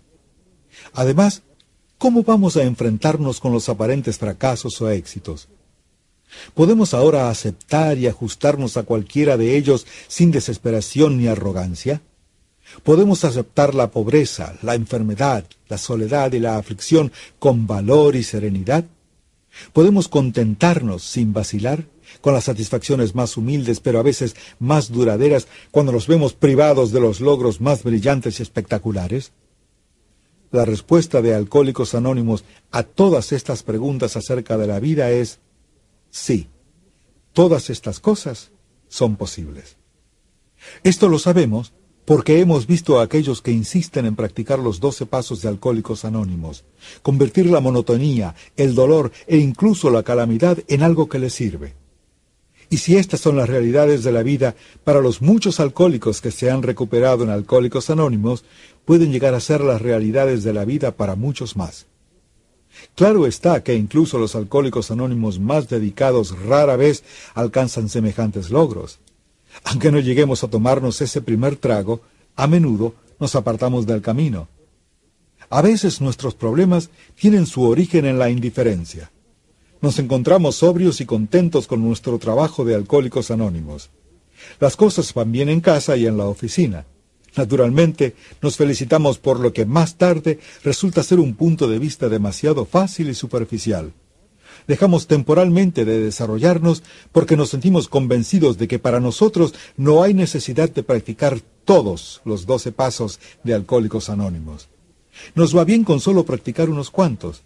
Tal vez nos va bien con solo dos, el primer paso y la parte de llevar el mensaje del duodécimo paso. En la jerga, este estado eufórico se conoce por el nombre de paso doble y puede continuar durante años. Incluso los que tenemos las mejores intenciones podemos caer en la trampa del paso doble. Tarde o temprano se nos pasa esta fase de nube rosada y la vida empieza a parecernos aburrida y nos sentimos decepcionados empezamos a pensar que en realidad Alcohólicos Anónimos no sirve para tanto. Empezamos a sentirnos perplejos y descorazonados. Quizás entonces la vida, como suele suceder, de repente nos da un plato que no podemos tragar, ni mucho menos digerir. A pesar de nuestros esfuerzos, no conseguimos ese ascenso tan deseado. Perdemos un buen empleo, Tal vez hay graves dificultades domésticas o sentimentales, o quizás ese hijo que creíamos que Dios estaba cuidando muere en una guerra. ¿Cómo respondemos entonces? ¿Tenemos o podemos conseguir los alcohólicos de Alcohólicos Anónimos los recursos necesarios para enfrentarnos a estas calamidades que les llegan a tantas personas? Podemos ahora, con la ayuda de Dios, como cada cual lo conciba, afrontarlas con tanto valor y ecuanimidad como lo hacen a menudo nuestros amigos no alcohólicos? ¿Podemos transformar estas calamidades en bienes espirituales, en fuentes de crecimiento y consuelo, tanto para nosotros como para los que nos rodean? Bueno, lo cierto es que tenemos una probabilidad de hacerlo si pasamos de practicar dos pasos a practicar doce pasos. Si estamos dispuestos para recibir la gracia de Dios que nos puede fortalecer y sostener ante cualquier catástrofe. Nuestros problemas básicos son los mismos que tiene todo el mundo, pero cuando se hace un esfuerzo sincero para practicar estos principios en todos nuestros asuntos, los alcohólicos anónimos bien arraigados en el programa parecen tener la capacidad, por la gracia de Dios, para tomar sus problemas con calma y convertirlos en muestras de fe. Conocemos a miembros de Alcohólicos Anónimos que casi sin quejarse y a menudo con buen humor han padecido enfermedades largas y mortales. Hemos visto a familias desgarradas por malentendidos, tensiones e infidelidades volver a reconciliarse gracias a la manera de vivir de Alcohólicos Anónimos. Aunque la mayoría de los alcohólicos anónimos suelen ganarse bien la vida, tenemos algunos miembros que nunca llegan a reestablecerse económicamente y otros que tropiezan con serios reveses financieros. Por lo general, estas circunstancias se encaran con entereza y fe. Como la mayoría de la gente, hemos descubierto que podemos aguantar los grandes contratiempos según se nos presentan. Pero también, al igual que otros, para nosotros, las pruebas más duras a menudo se encuentran en los problemas cotidianos más pequeños. Nuestra solución está en desarrollarnos espiritualmente cada vez más. Solo por este medio podemos aumentar nuestras posibilidades de vivir una vida verdaderamente feliz y útil. A medida que nos desarrollamos espiritualmente, nos damos cuenta de que nuestras viejas actitudes hacia nuestros instintos tienen que pasar por una transformación drástica. Nuestros deseos de seguridad emocional y riqueza, de poder y prestigio personal, de relaciones sentimentales y de satisfacciones familiares, todos estos deseos tienen que ser templados y reorientados. Hemos llegado a reconocer que la satisfacción de nuestros instintos no puede ser el único objetivo y fin de nuestra vida. Si anteponemos nuestros instintos a todo lo demás, hemos empezado la casa por el tejado y nos veremos arrastrados hacia atrás, hacia la desilusión. Pero cuando estamos dispuestos a anteponer a todo el desarrollo espiritual, entonces, y sólo entonces, tenemos una verdadera posibilidad de vivir bien. Después de unirnos a Alcohólicos Anónimos, si seguimos desarrollándonos, nuestras actitudes y acciones respecto a la seguridad, tanto la emocional como la económica, empiezan a cambiar profundamente. Nuestras exigencias de seguridad emocional, de salirnos con la nuestra, siempre nos han forjado relaciones poco viables con otra gente.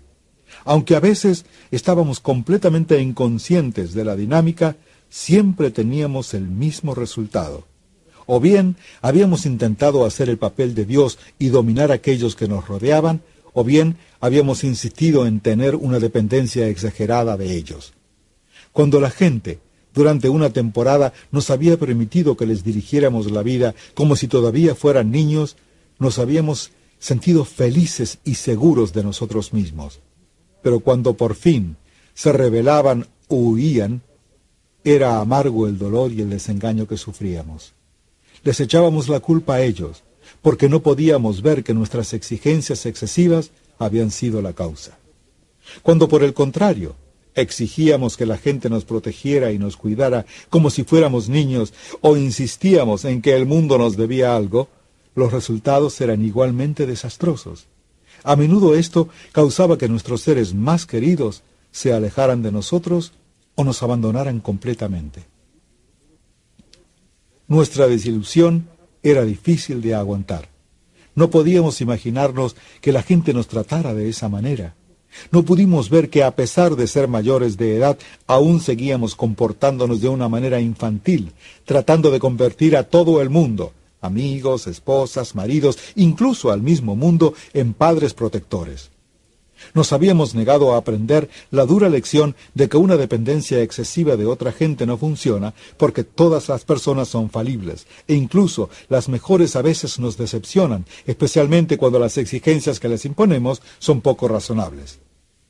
A medida que íbamos haciendo un progreso espiritual, llegamos a ver lo engañados que habíamos estado.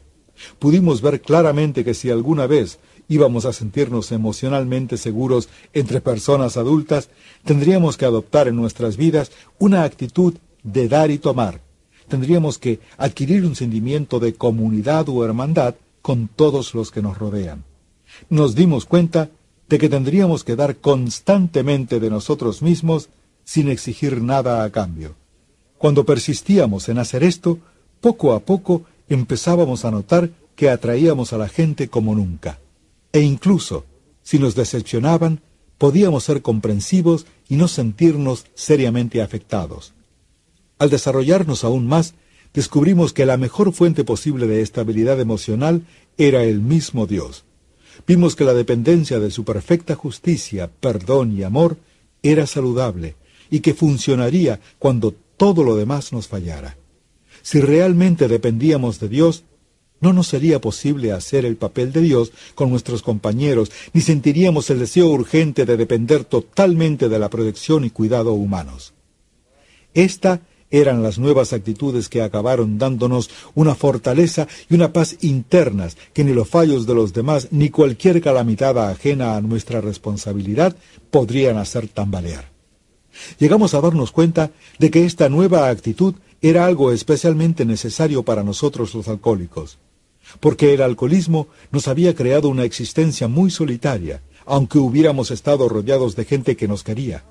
Pero cuando la obstinación había alejado a todo el mundo y nuestro aislamiento llegó a ser total, acabamos haciendo el papel de personajes en cantinas baratas para luego salir solos a la calle a depender de la caridad de los transeúntes.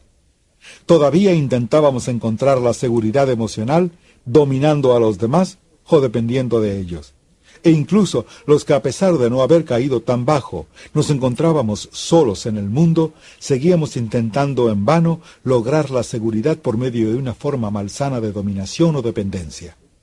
Para los que éramos así, Alcohólicos Anónimos tenía un significado muy especial. Mediante Alcohólicos Anónimos empezamos a aprender a relacionarnos apropiadamente con la gente que nos comprende. Ya no tenemos que estar solos. La mayoría de las personas casadas que están en Alcohólicos Anónimos tienen hogares felices. Hasta un grado sorprendente, Alcohólicos Anónimos ha compensado los deterioros de la vida familiar ocasionados por años de alcoholismo. Pero al igual que otras sociedades, tenemos problemas sexuales y matrimoniales y a veces son angustiosamente graves. No obstante, rara vez vemos rupturas o separaciones matrimoniales permanentes en Alcohólicos Anónimos. Nuestro principal problema no está en cómo seguir casados, sino en cómo llevar una vida conyugal más feliz, eliminando los graves trastornos emocionales que a menudo se derivan del alcoholismo. Casi todo ser humano en algún momento de su vida experimenta un deseo apremiante de encontrar una pareja del sexo opuesto con quien unirse de la manera más plena posible, espiritual, mental, emocional y físicamente. Este poderoso impulso es la raíz de grandes logros humanos, una energía creativa que tiene una influencia profunda en nuestra vida. Dios nos hizo así. Entonces, nuestra pregunta es la siguiente. ¿Cómo por ignorancia, obsesión y obstinación llegamos a abusar de este don para nuestra propia destrucción? Los alcohólicos anónimos no podemos pretender ofrecer respuestas definitivas a estas preguntas eternas, pero nuestra propia experiencia nos sugiere ciertas respuestas que funcionan para nosotros. A causa del alcoholismo, se pueden producir situaciones anormales que perjudican la convivencia y la unión de un matrimonio. Si el marido es alcohólico, la mujer tiene que convertirse en cabeza y a menudo en sostén de la familia.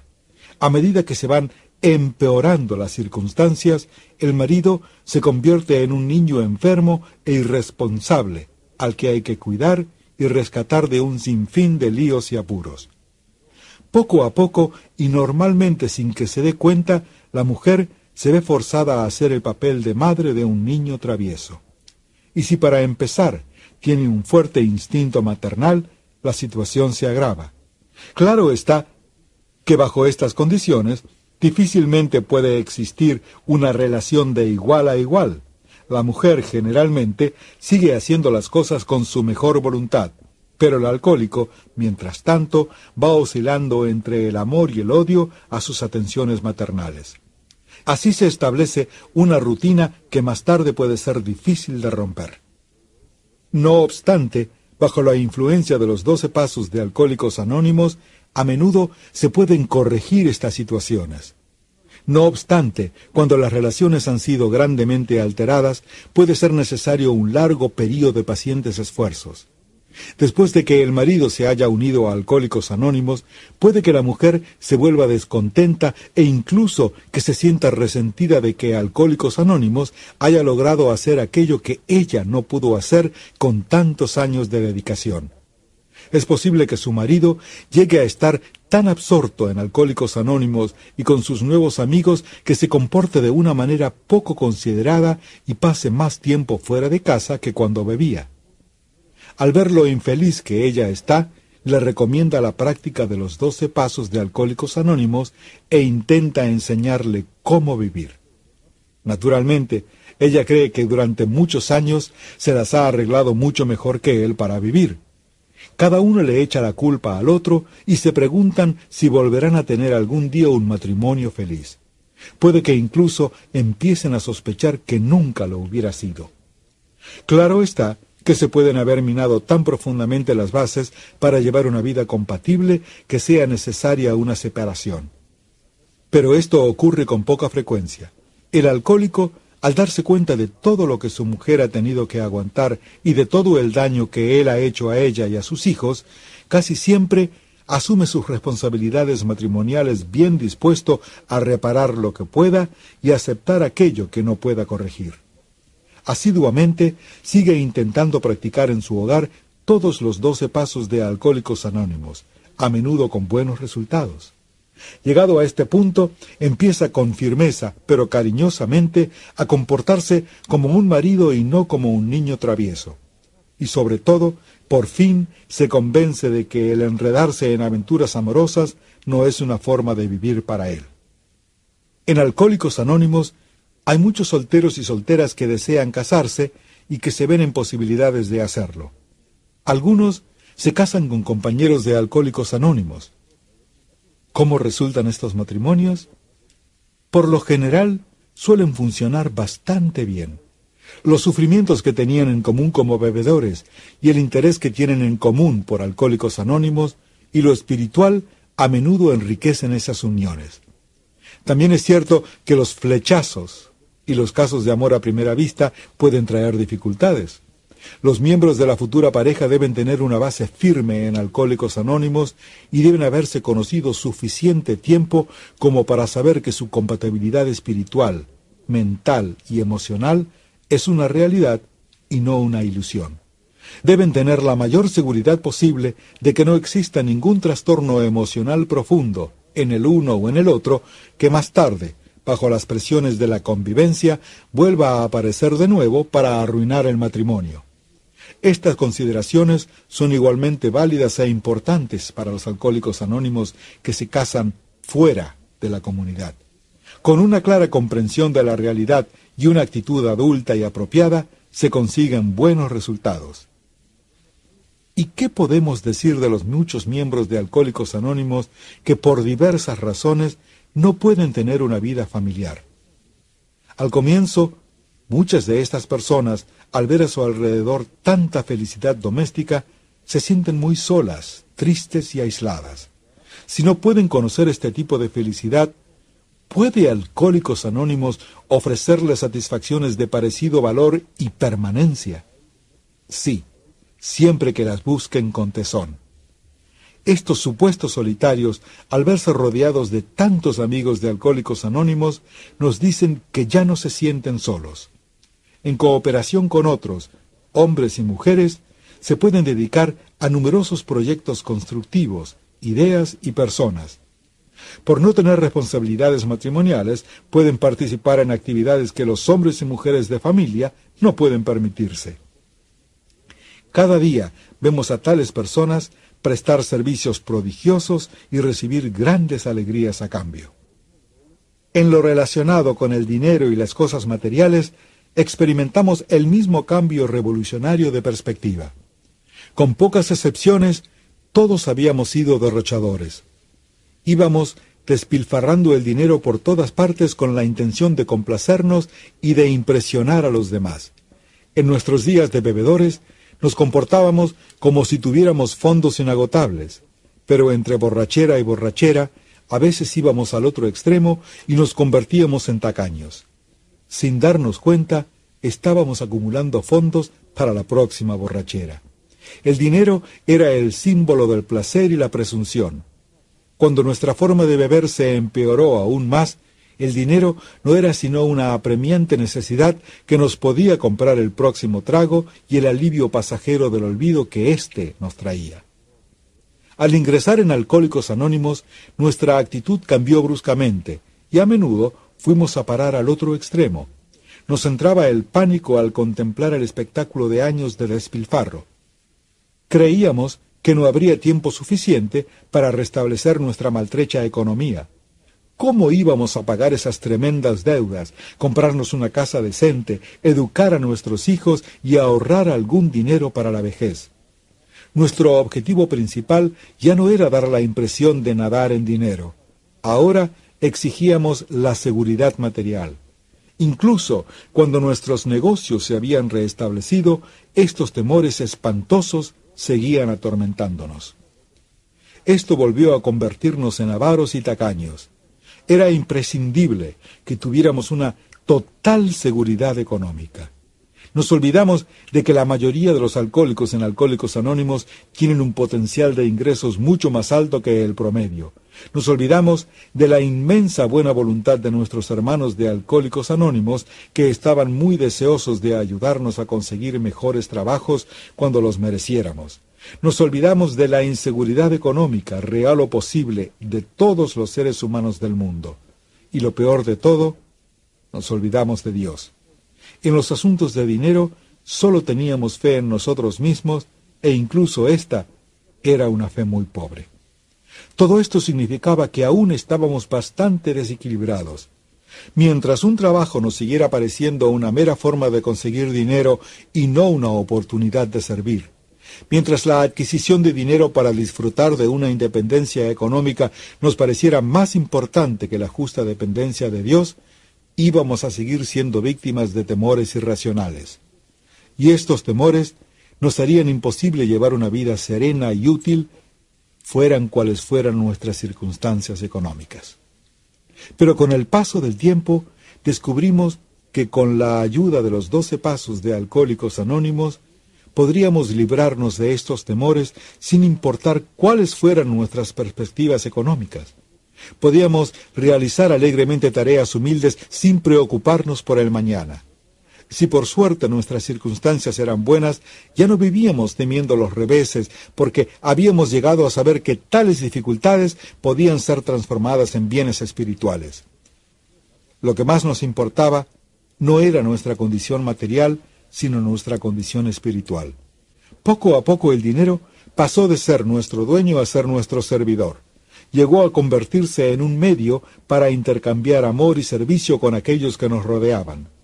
Cuando con la ayuda de Dios aceptamos serenamente nuestra suerte, nos dimos cuenta de que podíamos vivir en paz con nosotros mismos y enseñar a otros que aún sufrían los mismos temores, que ellos también podían superarlos. Llegamos a entender que liberarnos del temor era más importante que liberarnos de las inquietudes económicas. Detengámonos aquí un momento a considerar la mejora en nuestra actitud hacia los problemas de la importancia personal, el poder, la ambición y el liderazgo. Estos eran los escollos en los que muchos de nosotros naufragamos en nuestras carreras de bebedores. Casi todo muchacho sueña con llegar a ser presidente del país, quiere ser el número uno de la nación. Al hacerse mayor y ver la imposibilidad de realizarlo, puede sonreírse con buen humor recordando el sueño de su infancia. En años posteriores, descubre que la verdadera felicidad no se encuentra en intentar ser el número uno, ni ser uno de los primeros en la lucha desgarradora por el dinero, el sexo o el prestigio. Llega a saber que puede estar contento mientras juegue bien las cartas que la vida le ha repartido. Sigue siendo ambicioso, pero no de una manera absurda, porque ahora puede ver y aceptar la realidad de la vida. Está dispuesto a mantenerse en su justa proporción. Pero no sucede así con los alcohólicos. Cuando Alcohólicos Anónimos tenía pocos años de existencia, algunos psicólogos y doctores eminentes llevaron a cabo una investigación exhaustiva de un gran número de los llamados bebedores problema. Los médicos no intentaban determinar lo diferentes que éramos unos de otros, trataban de identificar los rasgos de personalidad, si los hubiere, que este grupo de alcohólicos tenía en común. Llegaron a una conclusión que dejaba estupefactos a los miembros de Alcohólicos Anónimos de aquel entonces. Estos hombres distinguidos tuvieron la osadía de decir que la mayoría de los alcohólicos que habían examinado eran infantiles, hipersensibles emocionalmente y tenían delirios de grandeza. Qué resentidos estábamos ante este veredicto. Nos negábamos a creer que nuestros sueños adultos eran a menudo verdaderamente infantiles. Y al tener en cuenta la mala suerte que nos había tocado en la vida, nos parecía muy natural que fuéramos muy sensibles. En cuanto a nuestros delirios de grandeza, insistíamos en que sólo albergábamos una elevada y legítima ambición de ganar la batalla de la vida. No obstante, desde aquel entonces la mayoría de nosotros hemos llegado a estar de acuerdo con aquellos doctores. Nos hemos parado a mirarnos más detenidamente a nosotros y a aquellos que nos rodean. Hemos visto que los temores e inquietudes irracionales eran los que nos impulsaron a dar importancia primordial en la vida al asunto de ganar la fama, el dinero y lo que para nosotros era el liderazgo. Así que el falso orgullo se convirtió en la otra cara de la ruinosa moneda, temor. Teníamos que ser el número uno para ocultar nuestro profundo sentimiento de inferioridad. Al tener algún que otro éxito, alardeábamos de mayores hazañas futuras. Al sufrir alguna derrota, nos sentíamos amargados. Si teníamos poco éxito mundano, nos deprimíamos y nos acobardábamos. Entonces la gente decía que éramos seres inferiores. Pero ahora nos vemos como astillas de un mismo palo. En el fondo, habíamos sido exageradamente temerosos. Daba lo mismo que nos hubiéramos sentado a las orillas de la vida bebiendo hasta sumirnos en el olvido, o que nos hubiéramos lanzado imprudente y obstinadamente a unas aguas agitadas casi sin saber nadar. El resultado fue el mismo. Todos nosotros, por poco nos ahogamos en un mar de alcohol. Pero hoy día, para los alcohólicos anónimos que han alcanzado su madurez, estos impulsos deformados han vuelto a cobrar algo parecido a su verdadero objetivo y encauzamiento. Ya no nos esforzamos por dominar o imponernos a los que nos rodean para ganar prestigio. Ya no buscamos fama y honor para ser alabados. Si por nuestros dedicados servicios a la familia, los amigos, el trabajo o la comunidad atraemos el afecto de los demás y si nos escoge para puestos de mayor responsabilidad y confianza, tratamos de estar humildemente agradecidos y de esforzarnos aún más, animados por un espíritu de amor y servicio. Nos damos cuenta que el verdadero liderazgo depende del ejemplo que damos de nuestra competencia y no de vanidosos alardes de poder o de gloria. Aún más maravilloso es saber que no es necesario que nos distingamos entre nuestros semejantes para poder llevar una vida útil y profundamente feliz. Pocos de nosotros llegaremos a ser líderes eminentes, ni queremos serlo. El servicio, gustosamente prestado, las obligaciones honradamente cumplidas, los problemas francamente aceptados o resueltos con la ayuda de Dios, la conciencia de que en casa o en el mundo exterior todos somos participantes en un esfuerzo común. La realidad bien atendida de que a los ojos de Dios todo ser humano es importante. La prueba de que el amor libremente dado siempre tiene su plena recompensa.